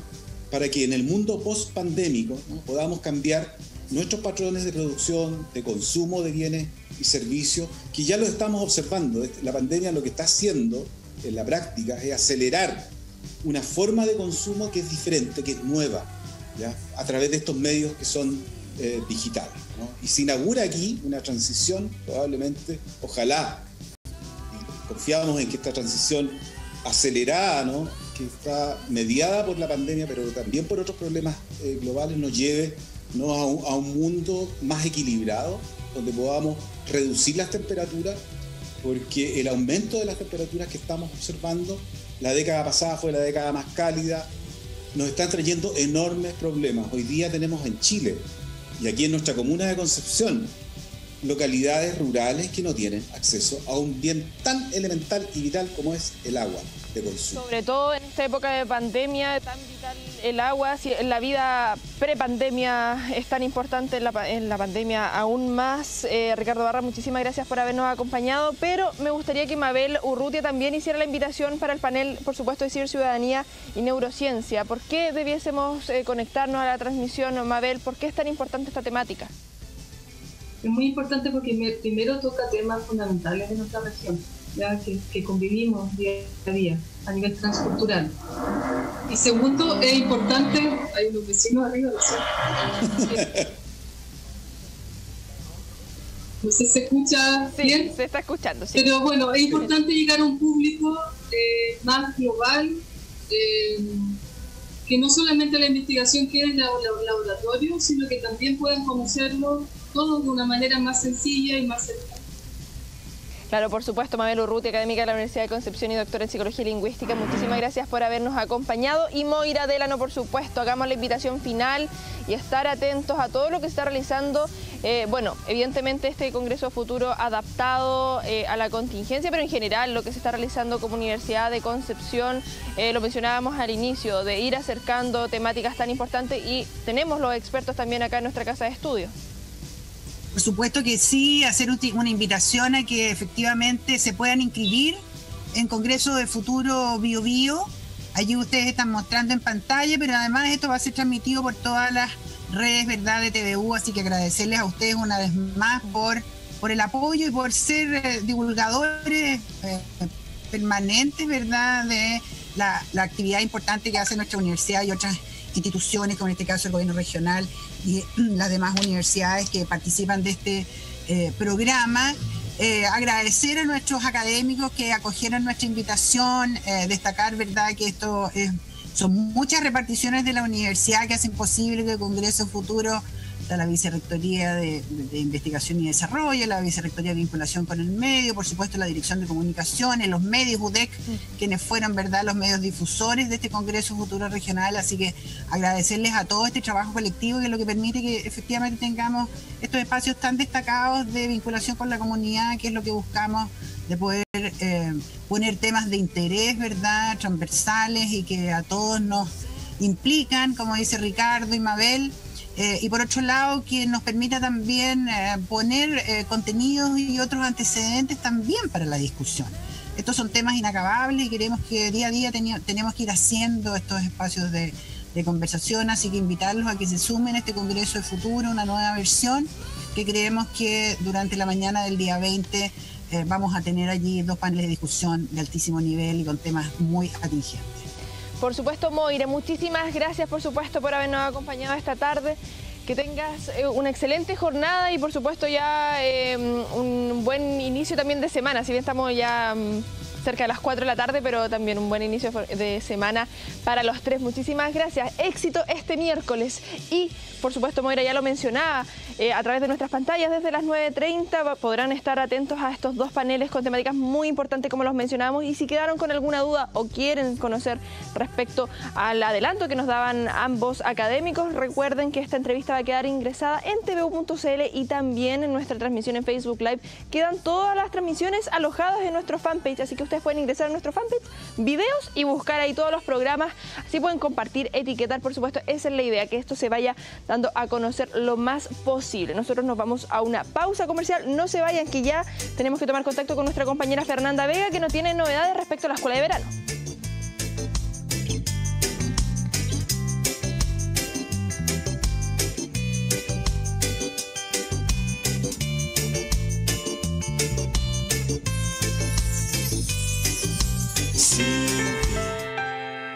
Uno de los grandes problemas de esta pandemia es contar con un método de diagnóstico que sea eficaz, que utilice idealmente una muestra no invasiva. En el fondo era validar una tecnología que venía de Israel. Se trata de un test de aire expirado. Soplar una cápsula y poder detectar en una membrana si es que hay virus o no. lo que nos permita rápidamente separar las personas que están manteniendo el contagio dentro de la comunidad. Participamos en esta validación mundial como el único piloto en Latinoamérica, donde se iba a hacer una comparación de este nuevo método contra el PCR en tiempo real, que es el gol estándar actual. Es un tremendo orgullo y también una tremenda responsabilidad porque hay mucho en juego y uno realmente puede beneficiar a mucha gente. Lo de Conce ha sido de siempre parte de mi vida. Aprendí a andar en bicicleta en esta universidad y ahora me tocó tener un cargo relevante y de confianza entre todos mis compañeros para lograr esta misión. Son los aprendizajes y experiencias que uno va adquiriendo, que mejoran, que tienes la posibilidad de involucrarte, tratar de transformar y de encontrar soluciones.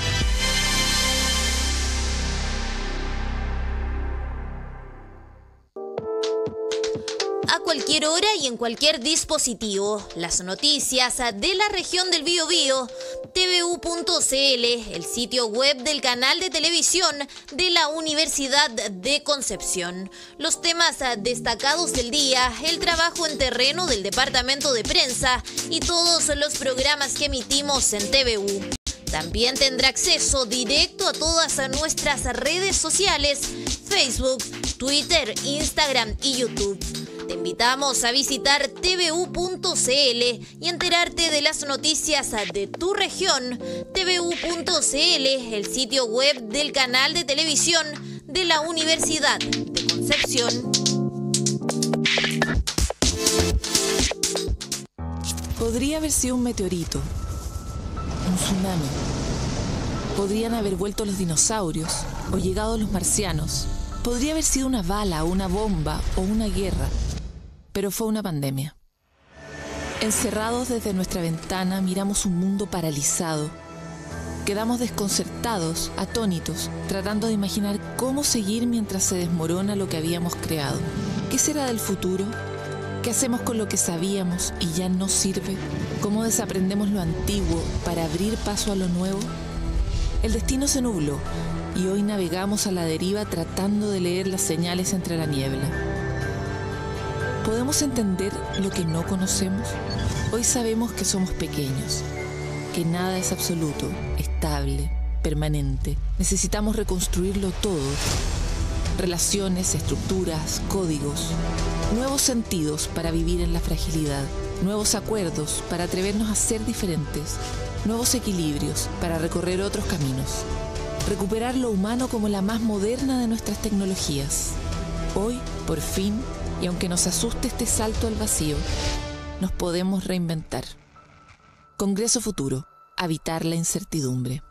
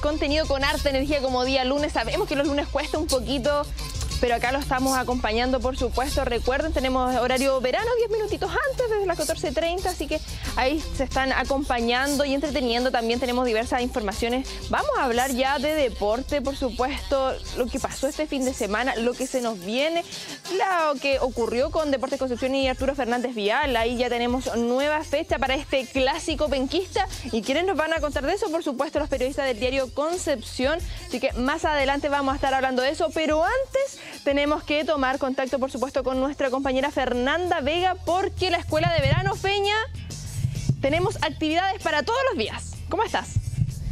Así es, porque hasta el 23 de enero continúa la escuela de verano de la Universidad de Concepción y hoy partieron algunas charlas, seminarios bastante interesantes, Connie. Así que me gustaría indicarte algunas para que la gente que nos está viendo en este momento también los tenga en consideración. Hoy, hasta el 22 de enero, se va a estar desarrollando el curso eh, diferentes manifestaciones eh, de la violencia de género, abordajes para, para su prevención con la doctora eh, Lucía Saldaña Muñoz. Así que desde hoy hasta el 22 eh, tienen la, posibilidad de ser parte de este curso que está bastante interesante, un tema que sabemos es bastante complejo en el último tiempo, sobre todo la violencia de género, así que no está más seguir aprendiendo sobre esto para la prevención, para erradicar evidentemente la violencia de género. Por supuesto, Feña, eh, una temática muy importante que se ha tomado em, en el último tiempo. A buena hora se está tomando este tema con seriedad y lo que está realizando la Dirección de Equidad de Género y Diversidad acá de nuestra universidad es muy importante y en este caso va a ser la misma directora de la de HIT quien va a estar a cargo de este seminario. Exactamente, la directora del Departamento de Equidad de Género de la Universidad de Concepción es la que va a estar a cargo de este curso que yo te indicaba. Parte hoy y se extiende hasta el 22 de enero. Es una de las tantas actividades, talleres, seminarios, charlas que se están desarrollando en el contexto de la Escuela de Verano de la UDEC, que este año ha sido diferente, evidentemente por la emergencia sanitaria, es todo online, así que existen más posibilidades de poder inscribirse a las diferentes iniciativas a, las actividades que se están desarrollando en el contexto de la escuela, eh, solamente tienen que ingresar a la página de extensión de la Universidad de Concepción, van a encontrar todos los detalles.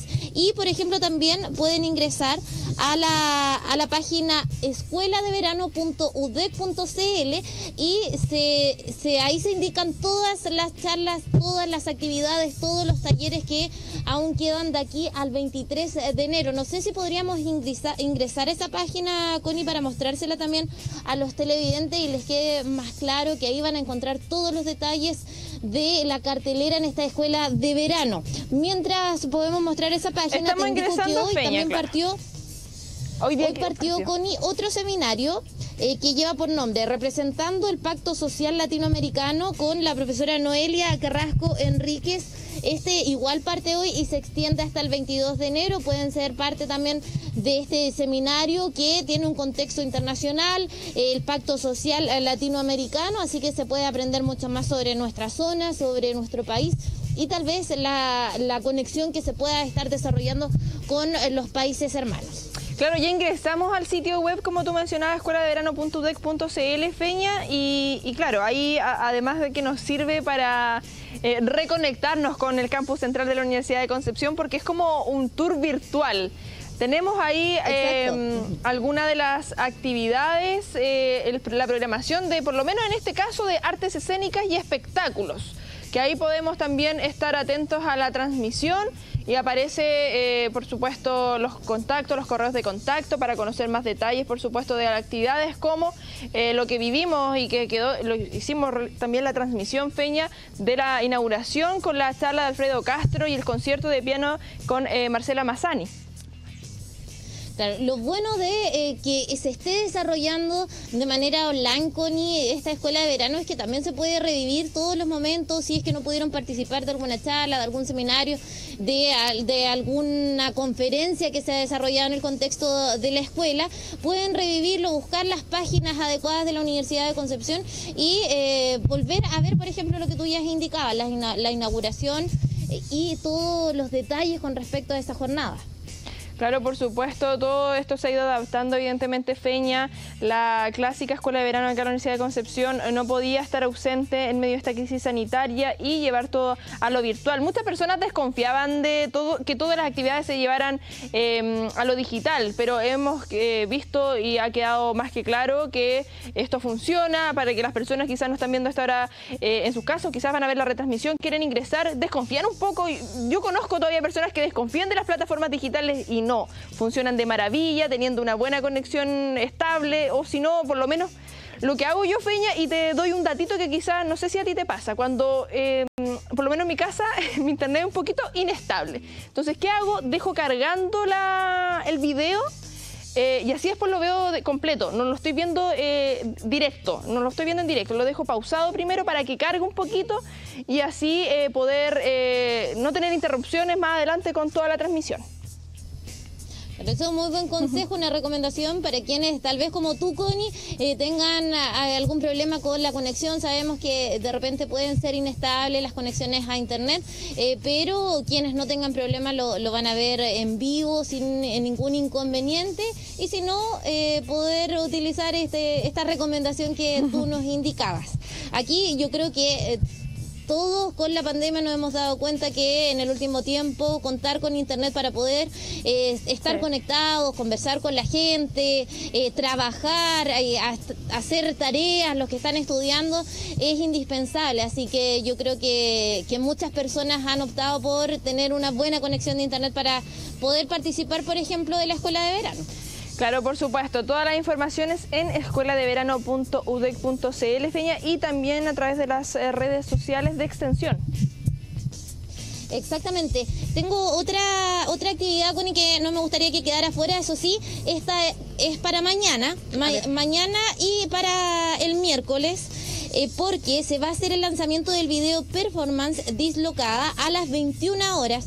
Pueden buscarlos en el fanpage de la Pinacoteca UDEC y eh, van a ser parte entonces del lanzamiento de este video, que fíjate es un trabajo audiovisual, bien digo, que retrata diferentes situaciones de lo que estamos viviendo, de la pandemia por el COVID-19, cómo han cambiado algunas realidades de las personas en el modo de vivir. Eh, sobre todo hemos tenido que replantearnos muchas muchas situaciones, cambiar algunas rutinas y este, este video retrata algunas de ellas. Así que está bastante interesante. A las 21 horas mañana, 19 de enero y también el 20 de enero a las 21 horas. Súper, ahí para quienes están en nuestra sintonía, empiecen a notar. Yo sé que hay muchas personas que están atentas a todas estas actividades de la escuela de verano, ahí para que lo agenden en el fanpage de Extensión y Pinacoteca UDEC Dislocada. Este video performance. Muchísimas gracias, Feña, que tengas buena tarde. Tú también, Connie, que tengas buenas tardes. Chao, chao.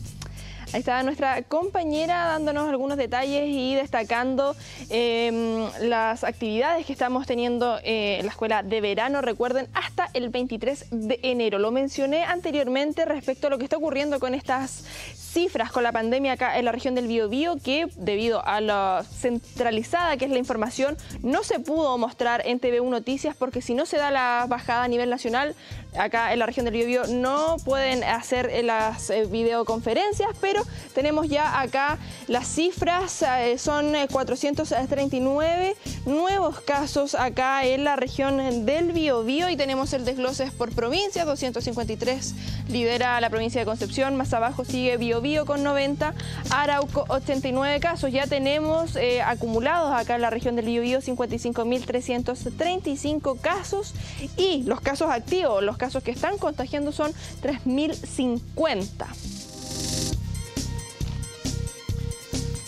Ahí tenemos el desglose por comunas, como es tradición, ya tenemos ahí nuestra lámina con las 33 comunas de la región del Biobío. Y empezamos con la capital de la región de Concepción, por supuesto. Casos nuevos son los 43 eh, las últimas 24 horas. Tenemos con 24 nuevos casos Los Ángeles, lo sigue más abajito Coronel, 22 casos nuevos que tiene 262 casos activos. Ojo ahí Coronel.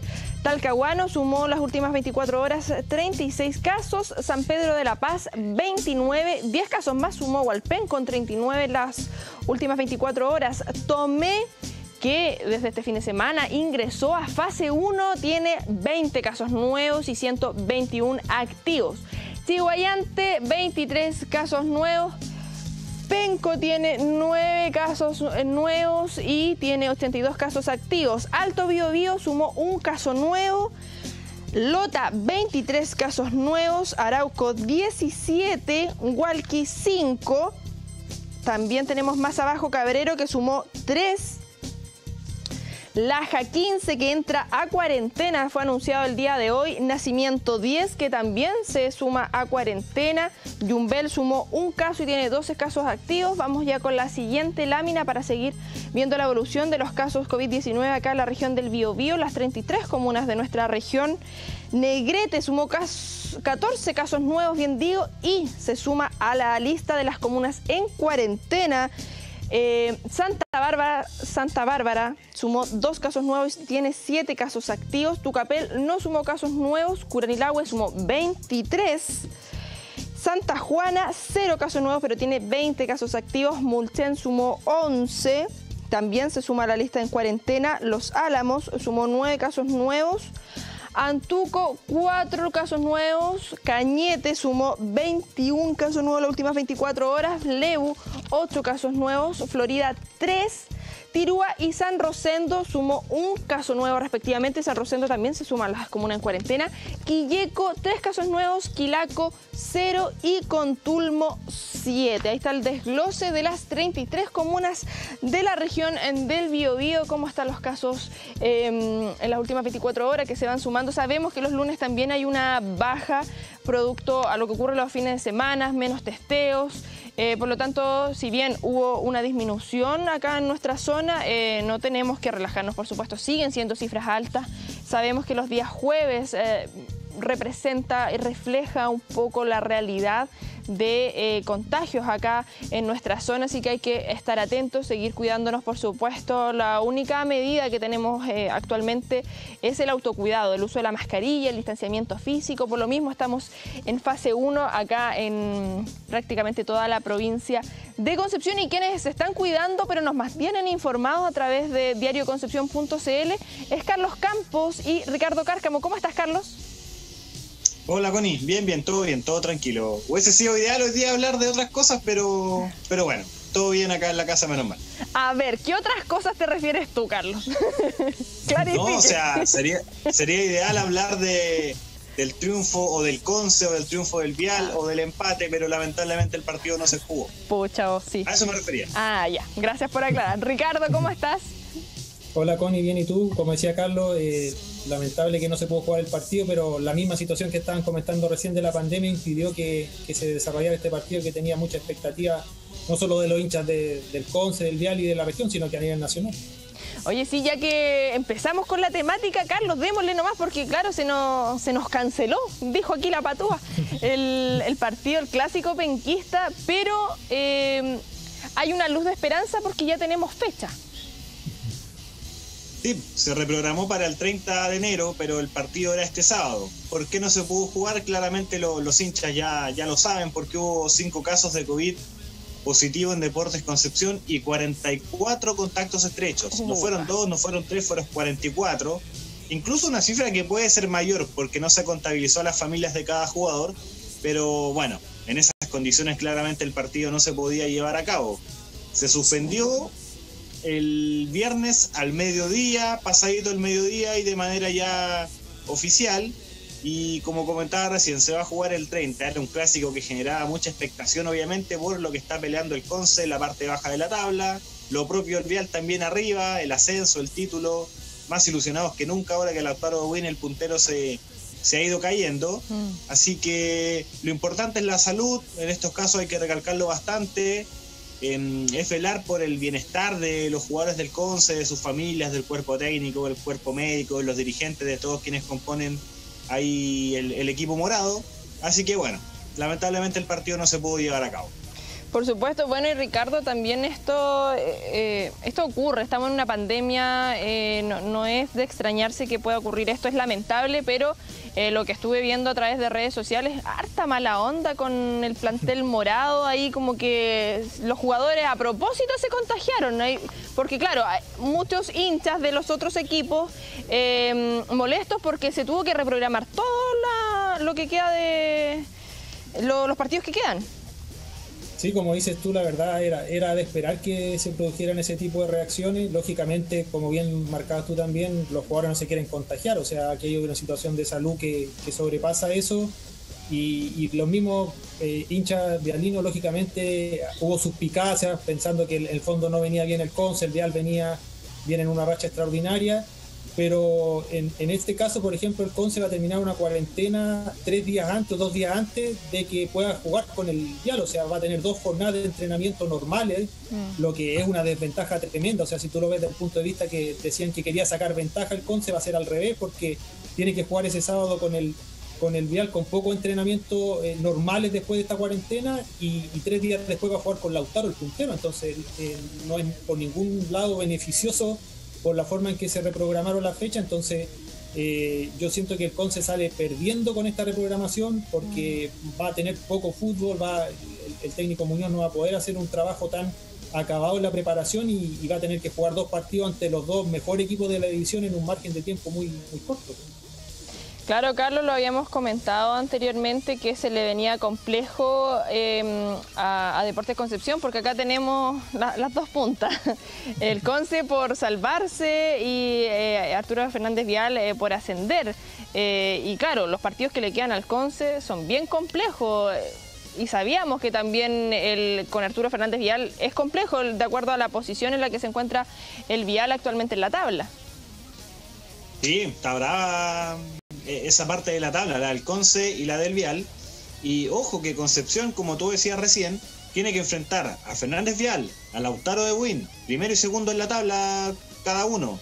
Recoleta, que está tercero. Y en la última fecha se juega todo contra Vallenar, que también se metió ahí en los puestos de descenso directo. Y, Concepción obviamente tiene que sacar puntos, primero que todo por ellos. Mm. Pero Concepción también, por los rivales que enfrenta, perfectamente puede definir hasta el que sea campeón, porque enfrenta a Lautaro y enfrenta al Vial. Entonces, claro, eh, se encuentran en la parte más decisiva del torneo con estos casos lamentables de COVID positivo, con este brote tremendamente masivo de, contagios. Ellos vuelven a entrenar el 28, porque el 27 terminó su cuarentena y el partido clásico fue reprogramado para el 30, o sea, van a tener para entrenar dos días. Más allá de lo que puedan hacer cada uno de ellos en sus casas, eh, si es que alguno tiene alguna trotadora, eh, alguna máquina estas para andar en bicicleta, algunos que, bueno, tienen patio, se podrán mover un poquito más, pero nada reemplaza el hecho de parar un equipo en una cancha grande y entrenar. O sea, los arqueros no se pueden tirar voladas en la alfombra de la casa. O sea, nada reemplaza lo que es entrenar claramente en tu lugar de entrenamiento. Y bueno, el Vial en este caso fue un, entre comillas, perjudicado, porque acá todos perdieron. Perdió Concepción, perdió eh, Vial, perdió la gente, pero el Vial va a poder seguir jugando, no, no, no, tuvo ningún bueno, contacto con el plantel del Conce, y es igual que dejarlo claro, o sea, claro, más allá de que hay errores por parte de la directiva del Conce, por parte de los jugadores, Em, acá nadie se quiere contagiar, o sea, por ahí que, el hincha juegue un poquito con, esos comentarios en redes sociales de que no, que no quisieron jugar el clásico, que tuvieron miedo, e, es, parte del folclore nomás, o sea, porque es un partido clásico, se da aquello, pero no se van a querer contagiar, nadie se quiere exponer al virus. Claramente responsabilidades compartidas de lado y lado, pero ya, ya, ya está, habrá que mejorar, se hizo un sumario sanitario, hay muchos temas por corregir para que esto no se siga repitiendo. Exactamente, y dar vuelta a la página, esperar que todos eh, los chicos ahí del plantel morado terminen de la mejor eh, manera esta cuarentena, por supuesto, y ahí eh, los entrenamientos correspondientes, pese que van a ser un par de días solamente, que sea lo mejor posible. Ya estaremos comentando ese resultado que va a estar sabroso, pero tenemos que seguir hablando de equipos locales y Ricardo, Universidad de Concepción y Huachipato tenemos, ¿cuántas? Cuatro fechitas nos quedan, ¿cierto? Sí, de hecho, eh, Huachipato y la, UDEC son de los pocos equipos en, el torneo que van al día en su programación. De hecho, mañana cumplen la fecha 31 respectivamente. La, la UDEC visita O'Higgins en Rancagua, un, equipo que en la segunda rueda ha sido el mejor del campeonato. Y Huachipato recibe una española, también otro de los elencos que ha estado permanentemente en, en zona alta de la tabla Guachipato viene muy bien, viene de ganarle a Oye, eso a Wander el, viernes pasado. Eh, de hecho, los últimos dos partidos locales ha hecho cuatro goles. Ah, le ganó 4-3 a Calera, el otro día 4-0 a Wander. Eh, vamos a ver si por primera vez en el torneo logra ganar dos partidos seguidos y para consolidarse en esa zona de clasificación a la Copa Sudamericana, porque Guachipato ha estado que gana un partido, entra a la zona de Sudamericana, pierde, sale, están muchos equipos muy juntos en, en una diferencia de, poquitos puntos, entonces eh, sería muy positivo que Huachipato logre ganar un segundo partido consecutivo y en el caso de la UDEC eh, visita uno de los equipos más en forma del torneo, eh, la UDEC también ha venido levantando de la mano de Hugo Valladares, eh, le ganó a Calera hace un, hace, un, hace un par de días, después empató con Colo Colo, pero ya muestra, muestra otro fútbol eh, distinto, más recuperado también en lo físico y ojalá que pueda sumar en una cancha súper complicada porque eh, tanto la posición de, de, la UDEC como de Huachipato en la tabla 2020 son un poquito engañosas porque son de los pocos equipos que van al día. Se supone que después que se juegue esta fecha que termina mañana, se recuperan todos los partidos pendientes en un par de semanas y ahí vamos a ver la, realidad eh, real, valga la redundancia, de ambos equipos en la tabla. Oye, eh, Carlos, en lo personal yo quedé sorprendida con esa goleada de Guachipato. No sé si estoy tan errada en eso porque estaba haciendo zapping y de repente yo dije, ¿y este partido de cuándo es? ¿Qué pasó? ¿Qué, qué ocurrió aquí? Eh, sí, bueno, no fuiste la única sorprendida. no fuiste la única, porque aparte el partido de Huachipato el viernes pasado lo, lo transmitieron por televisión abierta. Entonces, aquello permitió que mayor cantidad de gente que no tiene el canal, el ex CDF, ahora TNT Sports, eh, pudiera ver aquel compromiso. Y claro que sorprende, porque este Huachipato en un partido muestra un fútbol extraordinario, gana, gusta, y al otro pierde, mostrando muy poco. Y así ha sido durante todo el campeonato. No le podemos pedir al técnico ahora Lubera, el argentino que está, que corrija en una o dos semanas todo lo que no se hizo bien anteriormente, pero él en tres partidos ha mostrado otro guachipato, eh, ha demostrado que se puede ver un fútbol distinto, él ha propuesto un sello más ofensivo, un cambio a lo que se venía mostrando antes también, y él igual tiene todas las atribuciones quizás para tirarse flores, para agrandarse un poquito más, y él ha sido muy mesurado. Él dijo, bueno, le hicimos cuatro goles a la calera, le hicimos cuatro goles también a Wenders, pero al Audax italiano no le marcamos y perdimos. Así que igual tienen bien consciente esa carencia de ganar dos partidos consecutivos, porque Huachipato hoy día con lo regular del campeonato está metido en zona de clasificación a la Copa Sudamericana, pero está a un triunfo o a dos, incluso si es que hay algunos partidos que se tienen que poner al día, de meterse en la Copa Libertadores, lo cual sería un premio extraordinario para, para un equipo de la zona que sabemos que en regiones siempre cuesta más este tipo de logros, así que ojalá Guachipato se encarrile, que logre sumar la mayor cantidad de puntos posible en estas fechas que quedan y, que se meta, ¿por qué no en la Copa Libertadores si hoy día se ve muy cercana esa opción? Claro, bueno, esperar que ocurre mañana eh, con la UDEC, con O'Higgins a las 21 horas y Huachipato a las 17 horas con Unión Española y como mencionaban chiquillos, pero se nos queda en el tintero y para ver, hablarlo brevemente chiquillos, Lota Schwager que tiene doble decepción o doble pena, Carlos. Sí, bueno, jugaron contra Provincial Ranco, esto fue el sábado en la tarde, el partido de vuelta por los cuartos de final de la tercera división.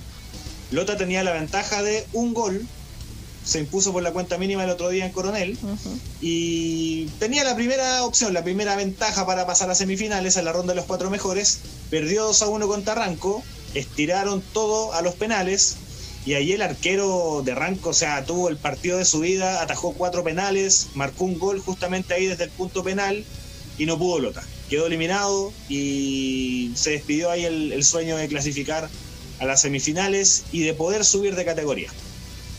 Claro, y Ricardo, hay ahí la, lo que mencionaba yo, la doble pena, porque muchos jugadores que están pensando también eh, dejar el fútbol, ya que eh, no, no, pueden seguir por temas de edad, de los estatutos internos ahí que no pueden superar los 25 años.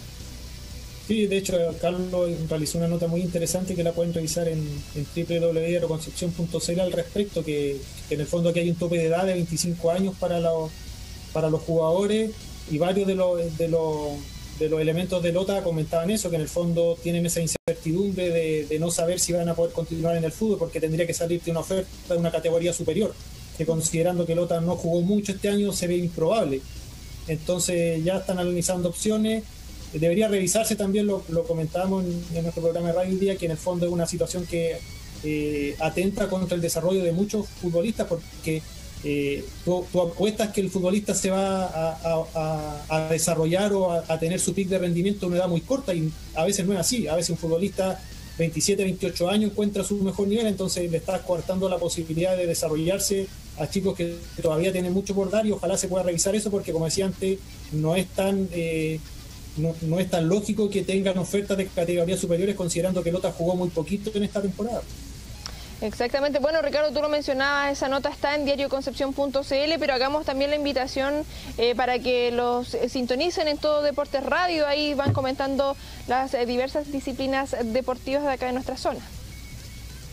Sí, como decíamos, de, lunes a viernes a las 13 horas. Mañana también le, adelantamos a, los hinchas vialinos que estén conectados porque vamos a tener un invitado justamente que, va a contar sobre la actualidad deportiva institucional del, cuadro, cuadro así que también lo invitamos y como decías tú también, todos los deportes tratamos de darle un espacio también, aunque sea a lo mejor un, poquito menor por la contingencia que hay del fútbol, pero siempre tratando de dar una pincelada de, todos los deportes de, de lunes a viernes a las 13 horas por el fanpage de Diario Concepción. Claro, por supuesto, Carlos, estar atento ahí a todo lo que están realizando ustedes como equipo de Diario Concepción, evidentemente en medio de esta pandemia y cuidándose, pero atentos e informando al respecto a todo lo que está ocurriendo y lo que está ocurriendo para cerrar brevemente em, con la selección chilena, con la roja, porque nos quedamos sin rueda y qué está pasando ahí. Eh, no pasa mucho, lamentablemente. Pues nos encantaría ya haber oficializado algún técnico o que por último hubiese mayor claridad de con quién se está conversando. Eh, han circulado nombres como José Peckerman, como Matías Almeida y como varios más, de Cachese que estuvo en la U, entre otros, pero se fue Rueda, asumió en Colombia, era un secreto a voces que se comentaba hace bastante rato. Y, y aún no pasa nada. Esperemos tener técnico lo antes posible porque las eliminatorias vuelven en marzo y ya de aquí a marzo hay un mes y medio y todo tiempo de trabajo claramente suma. No se puede entender porque cada uno de los jugadores, Vidal, Alexis, Bravo, etcétera, están en sus clubes, pero ya se puede conversar con ellos eh, vía internet, los técnicos viajan también a conocerlos, a, ya no hay darles a entender qué, es lo que quieren. Y hay que tener un técnico ya, ya pronto. Bueno, ahí vamos a estar atentos. Carlos Campos, muchísimas gracias por habernos acompañado. Ricardo Cárcamo también, que tengan una muy buena tarde. Un abrazo, Connie, que esté muy bien. Connie, que esté muy bien. Ahí está de Diario Concepción, nos acompañaba Carlos y Ricardo, por supuesto. Recuerden ingresar a diarioconcepción.cl para conocer en detalle todo lo que está pasando en el deporte, pero también otras eh, temáticas como política, cultura, por supuesto, ahí están actualizando constantemente el equipo de Diario Concepción. Nosotros estamos en vivo en directo, 16 con 5 minutos, y sí, nos vamos a la última pausa comercial. No se vaya, que tenemos que hablar de política internacional.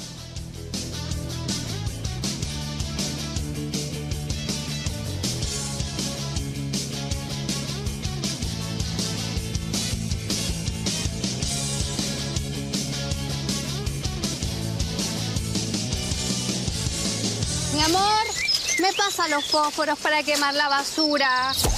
Nunca prendas fuego a basura ni vegetación seca en el campo, menos aún si hay casa cerca. Podrías generar un incendio forestal. Prevenir un incendio forestal es más fácil que combatirlo. Infórmate más en conaf.cl. Yo también soy forestino. CONAF, Ministerio de Agricultura, Gobierno de Chile.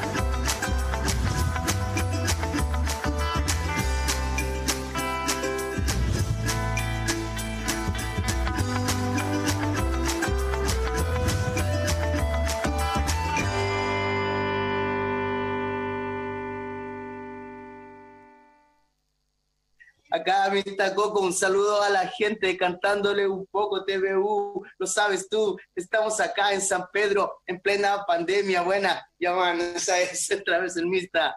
Yeah. Revive este y otros contenidos de TVU en nuestro canal de YouTube.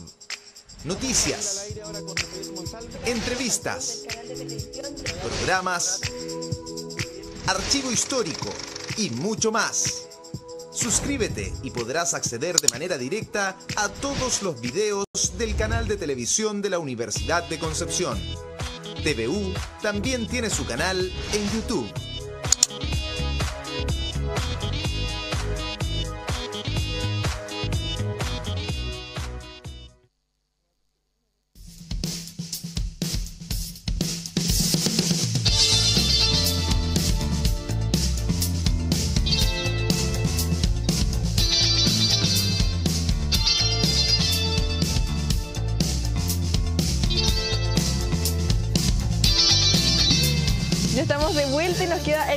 Último bloque y lo anunciaba antes eh, de irnos a la pausa. Tenemos que hablar de respecto a lo que está ocurriendo a nivel internacional y por supuesto nos acompaña Paulina Astroza, abogada, doctora en ciencias políticas y directora del programa de estudios europeos de acá de la Universidad de Concepción. ¿Cómo estás, Paulina?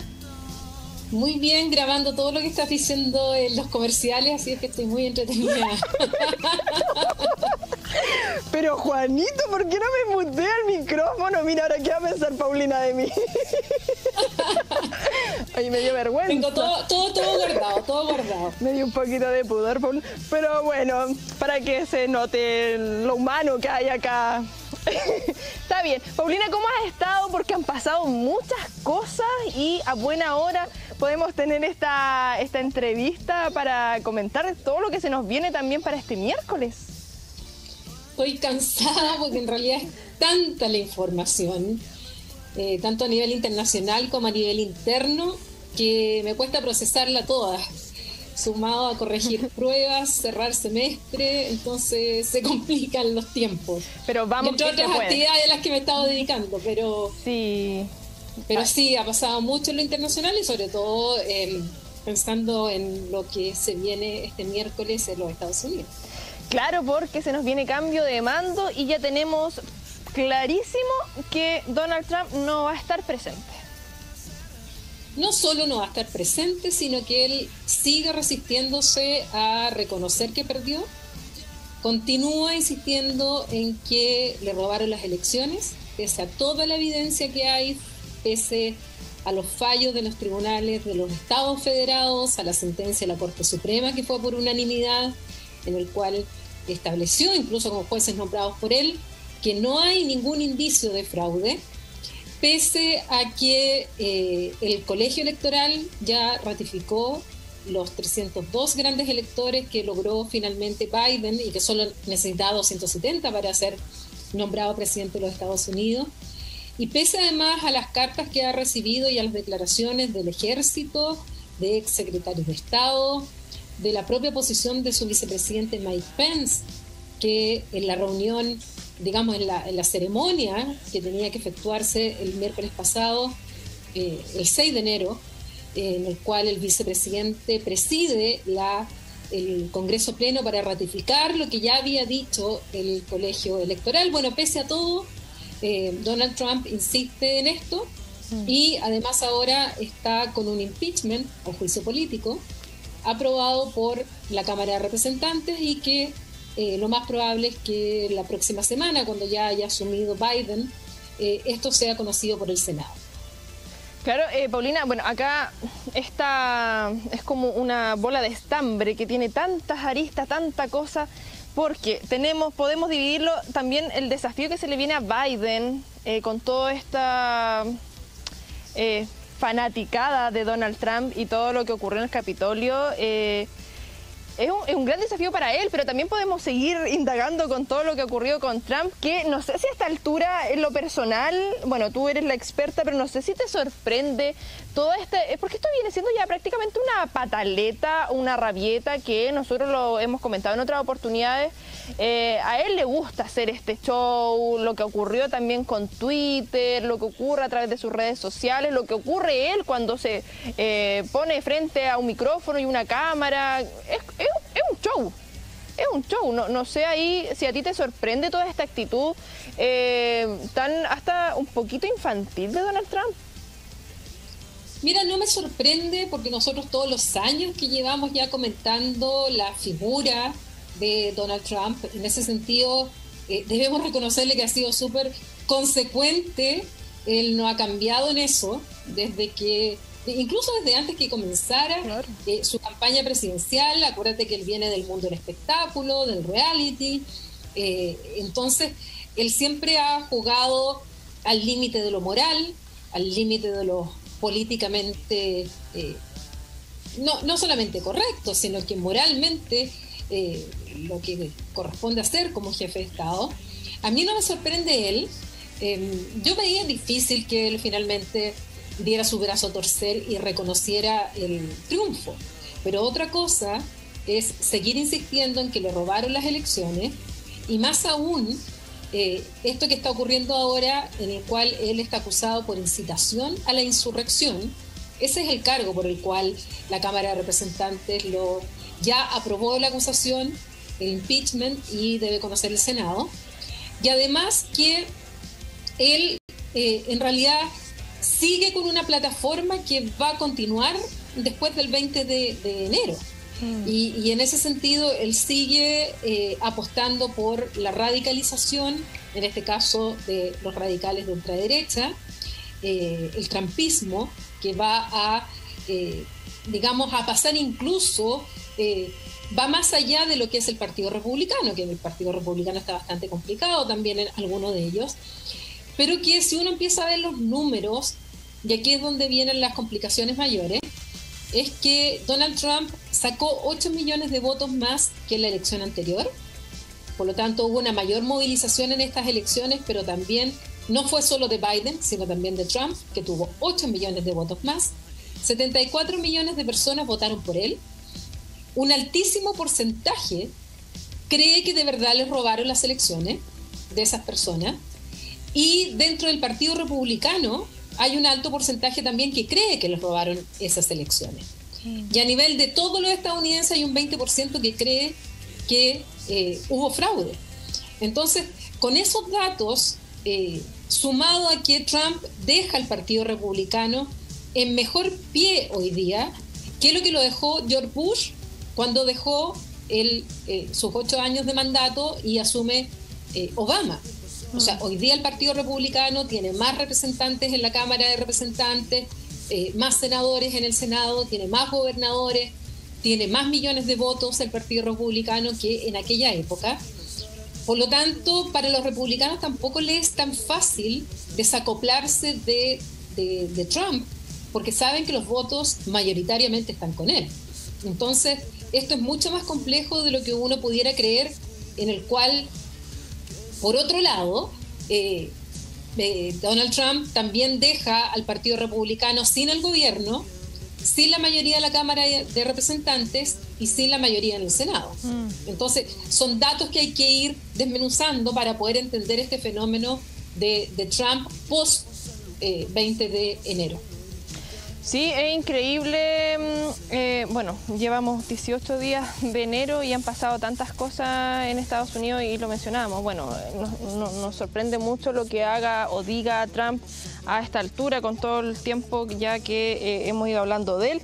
Pero sí lo que sorprendió fue lo que ocurrió el 6 de enero en el Capitolio, mm, Paulina, que las imágenes parecían sacadas de una película de partida. Eh, eh, increíble todo lo que se generó y bueno, eh, tengo acá el datito de eh, Albert Watkins, Watkins, que era esta persona que estaba con este bisonte aquí con todo extraño, que ahí ya veremos las imágenes, está pidiendo también a Donald Trump que le conceda el perdón, porque sabemos que muchas personas y bueno, lo que, lo que ocurrió ahí precisamente físicamente, dentro también de este contexto de crisis sanitaria que se nos olvida un poquito eh, el distanciamiento físico y todo lo que conlleva, por supuesto, esta pandemia que sabemos también que en Estados Unidos eh, no ha sido controlada de la mejor manera. Eh, ocurre esto de manera presencial, pero también ocurre toda esta oleada a través de redes sociales, lo que tú mencionabas, toda esta falta de credibilidad que existe actualmente. Sí, yo te decía que a mí no me sorprendía Trump. Mm. Lo que sí me sorprendió es lo que ocurrió en el Capitolio. Primero, por las medidas de seguridad. O sea, ahí ya hay una investigación de por qué el Capitolio, siendo que se sabía del llamado de Donald Trump esa mañana a hacer una, eh, un meeting, una manifestación afuera del Capitolio, él llamó durante varios días a través de su cuenta Twitter y otros medios a que la gente se fuera a manifestar en contra de la ratificación de lo establecido por el colegio electoral es decir, que había ganado Biden, y, eh, y uno vio que con la facilidad con la cual, eh, con la cual entraron estas personas, al, esta horda, al Capitolio. Entonces llama la atención, porque si miramos las mismas imágenes cuando se hacían eh, manifestaciones por el movimiento Black Lives Matter, eso, era, eso estaba blindado absolutamente, aquí no había nada. entonces eso primero eh, llama la atención. Segundo, la violencia. Eh, las personas iban incluso con una horca en la cual gritaban que querían ahorcar precisamente a el vicepresidente Mike Pence, a quien lo tratan de traidor, porque Trump le había pedido que no eh, presidiera esta sesión y que siguiera diciendo que les habían robado las elecciones. También tuvieron que, eh, o sea, piensen que dentro del Capitolio estaba la futura eh, vicepresidenta Kamala Harris, estaban estaba el vicepresidente, estaba el presidente del Senado, estaban todas estas figuras, además de todos los representantes, que corrieron serio riesgo. O sea, había personas ahí que estaban dispuestas a matar y dentro de estas personas hay exmilitares, los cuales tienen acceso a armas, porque es fácil tener armas en Estados Unidos. Y finalmente esto se salda con cinco muertos, uno de ellos un guardia de seguridad que murió apaleado por estas personas en el Capitolio. Entonces, eso es increíble, o sea, eh, de verdad la violencia, eh, y, al parecer, porque ahora incluso están apareciendo informaciones que el día anterior varios de estas personas habrían ido al Capitolio cuando están prohibidas las visitas eh, turísticas justamente por las, medidas de, por las medidas sanitarias y que algunos representantes republicanos habrían llevado a estas personas para que, bueno, reconocieran los lugares, supieran dónde están las oficinas. Y es justamente este guardia de seguridad, este policía que estamos viendo aquí en las imágenes, es quien eh, los lleva para otro lado, o sea, los eh, logra distraer para que no se acercaran a las oficinas donde estaban eh, yéndose las, digamos, entre Nancy Pelosi y otras autoridades que podían sufrir, o sea, riesgo absoluto de, eh, de que fueran eh, ya sea dañadas físicamente o incluso que las mataran. Entonces, eso verlo en Estados Unidos es impresionante. Eh, está la investigación hecha. hay otros que están informando que esto habría sido, estaría realmente preparado y esto lo llama mucho más a la precaución de lo que pueda eh, ocurrir el miércoles, porque ya hay de nuevo información del FBI que ha señalado que hay grupos que se están organizando para tratar de hacer lo mismo el día miércoles. Entonces, es muy preocupante. Eh, normalmente este tipo de actividades, sobre todo la del miércoles, era un acto eh, tradicional que está en la Constitución de los Estados Unidos, que era un mero trámite que no pasaba, pasaba sin pena ni gloria, pero sin embargo hoy día se transformó en esto y, eso es lo que hace todo insólito mm. eh, de este traspaso de mando en los Estados Unidos. Sí, bueno, acá estoy viendo algunos sitios internacionales y, mencionan que mm, tras una amenaza de seguridad externa debido a un fuego que ya está controlado, sí, eh, cerca del Capitolio eh, lo cerraron. Un incendio a pocas cuadras del recinto ocasionó esta alerta y se informa que hasta el momento hay más de 20.000 miembros de la Guardia Nacional que están custodiando el perímetro, eh, por supuesto, días previos a lo que va a ocurrir este, este miércoles. Eh, Paulina, y claro, yo te mencionaba el desafío que tiene Joe Biden también respecto a todo esto, a este descontrol que existe actualmente en Estados Unidos. Eh, en cuanto sabemos que Joe Biden es, bien causto, a diferencia de Trump, en el discurso, al hablar, si bien es conciso y es claro con sus mensajes, pero es bien controlado.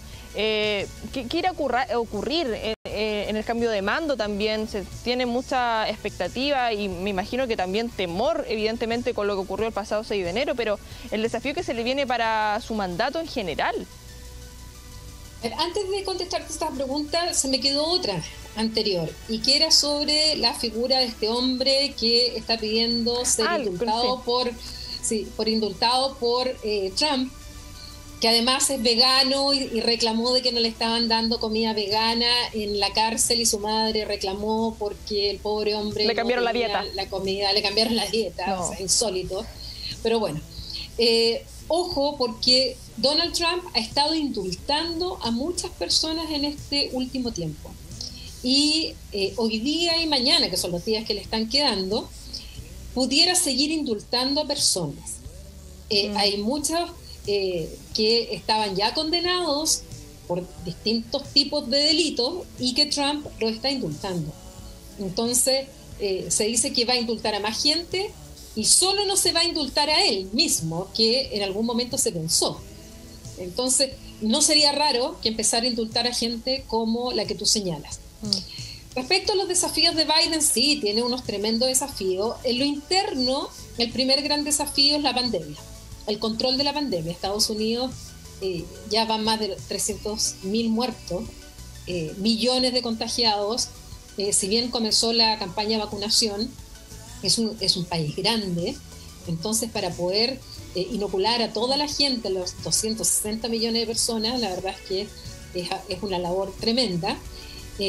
Además tiene que ver todo el tema de la economía, cómo se recupera la economía, y, eso va a ser, o sea, uno de los primeros retos. Y el segundo reto es de lo que estamos hablando de un alto porcentaje de la población estadounidense que sienten, que creen en todas estas teorías conspirativas y que creen que de verdad les robaron la elección.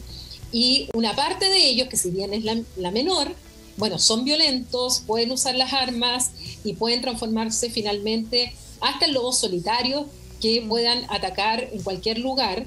Eh, así como en algún momento se hablaba del enemigo externo, del terrorista islamista externo. Hoy día, incluso la carta del ejército, de los jefes del Estado Mayor del Ejército, hablan del terrorista o enemigo interno. Mm. Entonces, eh, eh, esa va a ser una de las grandes tareas. Y la segunda, en lo internacional, en términos generales, te lo podría resumir como, como que eh, Biden va a tener que restablecer las confianzas dañadas con los socios, pero eh, le va a costar porque va a tener que gastar mucha energía en lo interno. Entonces, todo lo que se habla de restablecer los lazos con los países aliados de la OTAN, de la Unión Europea, eh, restablecer el multilateralismo, volver a tomar todos los espacios de las organizaciones internacionales que Trump abandonó.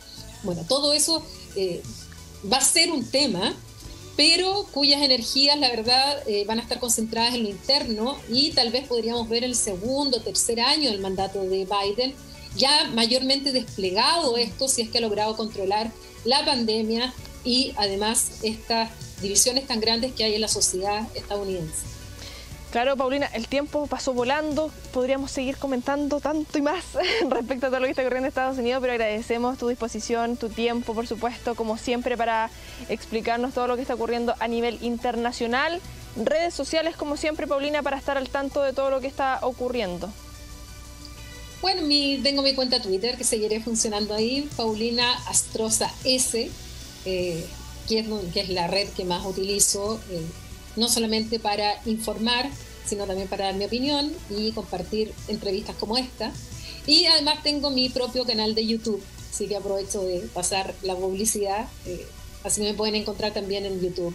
Y el programa de estudios europeos también tiene su canal de YouTube donde hemos subido todas las actividades y entrevistas como esta em, que hemos hecho durante todo el año 2020 porque eso fue lo que finalmente nos obligó la pandemia y la aprovechamos dentro de, de lo negativo que ha sido este periodo. Bueno, nosotros sí aprovechamos de difundir mucho más lo que hacemos a través de estos canales.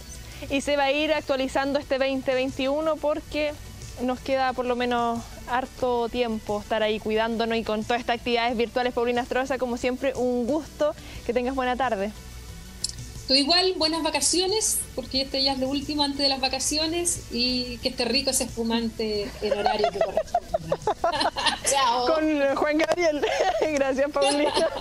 Chao. Ahí está Paulina Estrella, por supuesto, académica acá la Universidad de Concepción, eh, entregándonos un análisis respecto a todo lo que está ocurriendo a nivel internacional, particularmente el día de hoy, Estados Unidos. Ya estamos cerrando nuestro programa y tenemos que tomar contacto con Hugo Varela Mora. ¿Estará por ahí, señor director? Ahí está con ordenando todo lo que se viene para la teleentrevista. ¿Cómo estás? Justo saludarte. Con calor. Sí, 27 grados de temperatura en Concepción. 27. Sí. Yo eh, creo que la temperatura más alta que hemos tenido este año. Debo admitir, Hugo, eh, soy un poco aletargada. Sí, 27 grados. En Los Ángeles hay 34, creo. Chillán está poquito más que eso. Yumbel también tiene que andar cerca de los 30 y tantos. Eh, este es el inicio de lo que será una ola de calor, dicen hasta el jueves o viernes va a durar esta altísima temperatura, lo que trae consigo, por cierto, riesgos inherentes de incendios forestales, una cuestión re compleja. Eh, sí, y los incendios forestales, que, es lo más complejo, digamos, ojalá Dios quiera no, no, pase mucho. Han habido, ayer hubo solo 19, o sea, ayer solo ayer hubo 19 incendios, imagínate, en, la región. De, hoy día deben haber varios, pero no, por lo menos ninguno cerca aquí del, del centro urbano de Concepción, entonces... Pero son altísimas temperaturas, sí, harto calor. Bastante, bastante. Vamos a ver las guayaberas. El team Hugo está preguntando por redes sociales.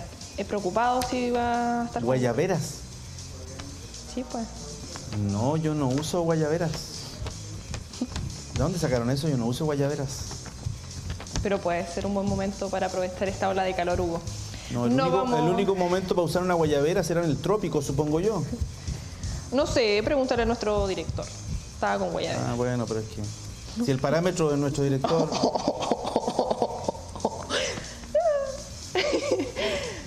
uh, yo sé que tú lo quieres, bastante.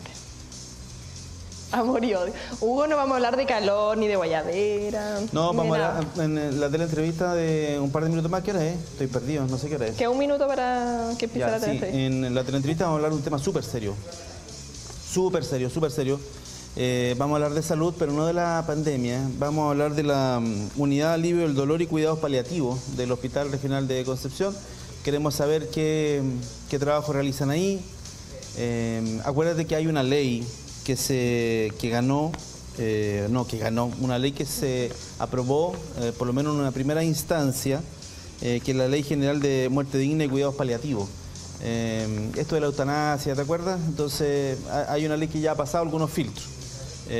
pero queremos conocer específicamente lo que se está haciendo en el Hospital Regional con esa materia. Insisto, es un tema súper serio y que afecta a muchísimas familias aquí en nuestra zona. Sí, quienes hemos vivido con familiares con enfermedades de ese tipo es complejo. Esto no afecta solamente, por supuesto, al enfermo en sí, sino a toda la familia, a todo el núcleo familiar. Así que muy importante esa conversación, Hugo, y me gusta que recalque un tema serio, como para que nos pongamos serio y dejemos de hablar de guayaberas. Sí, por favor, no, no es el momento. Em, señor director, me, me informan que anda, andamos con mañoso. ¿Yo? Sí. ¿Pero por qué ya? No. Ya, pero te reíste. No, si yo no ando mañoso, pero ¿qué me. de la mañana que me están diciendo eso? Estoy, ah, exactamente, estoy exactamente igual que todos los días. Que partí con la programación a las 11 de la mañana, cuando uno dice, ya. Que esperan que uno llegue aquí como, no sé. Son, tiempos, difíciles estos, chiquillos, son tiempos difíciles. Pero una cosa hay que ver lo positivo, Hugo. Tiempos difíciles, cuarentena terrible, fase 1, pero... hoy día destacamos la vacunación de la primera mujer adulta mayor en nuestro país como la noticia positiva del día. Así que no es solo negativo, nosotros también descartamos lo positivo. Por supuesto. Éxito. Que estés bien. Chao. Ahí está Hugo Varela Mora. Recuerden, terminando acá la comunidad del contenido, inmediatamente empieza la teleentrevista. Eh, en vivo y en directo, por supuesto, luego va a quedar alojada en tvu.cl ahí para que estén al tanto de todo lo que está eh, realizando, por supuesto, el canal de televisión de la Universidad de Concepción, que quedan eh, todo esto alojado en nuestro sitio web para que lo puedan compartir y etiquetar ahí para que esto se vaya dando a conocer. Nosotros nos reencontramos mañana a las 14.30 horas. Muchísimas gracias por su sintonía.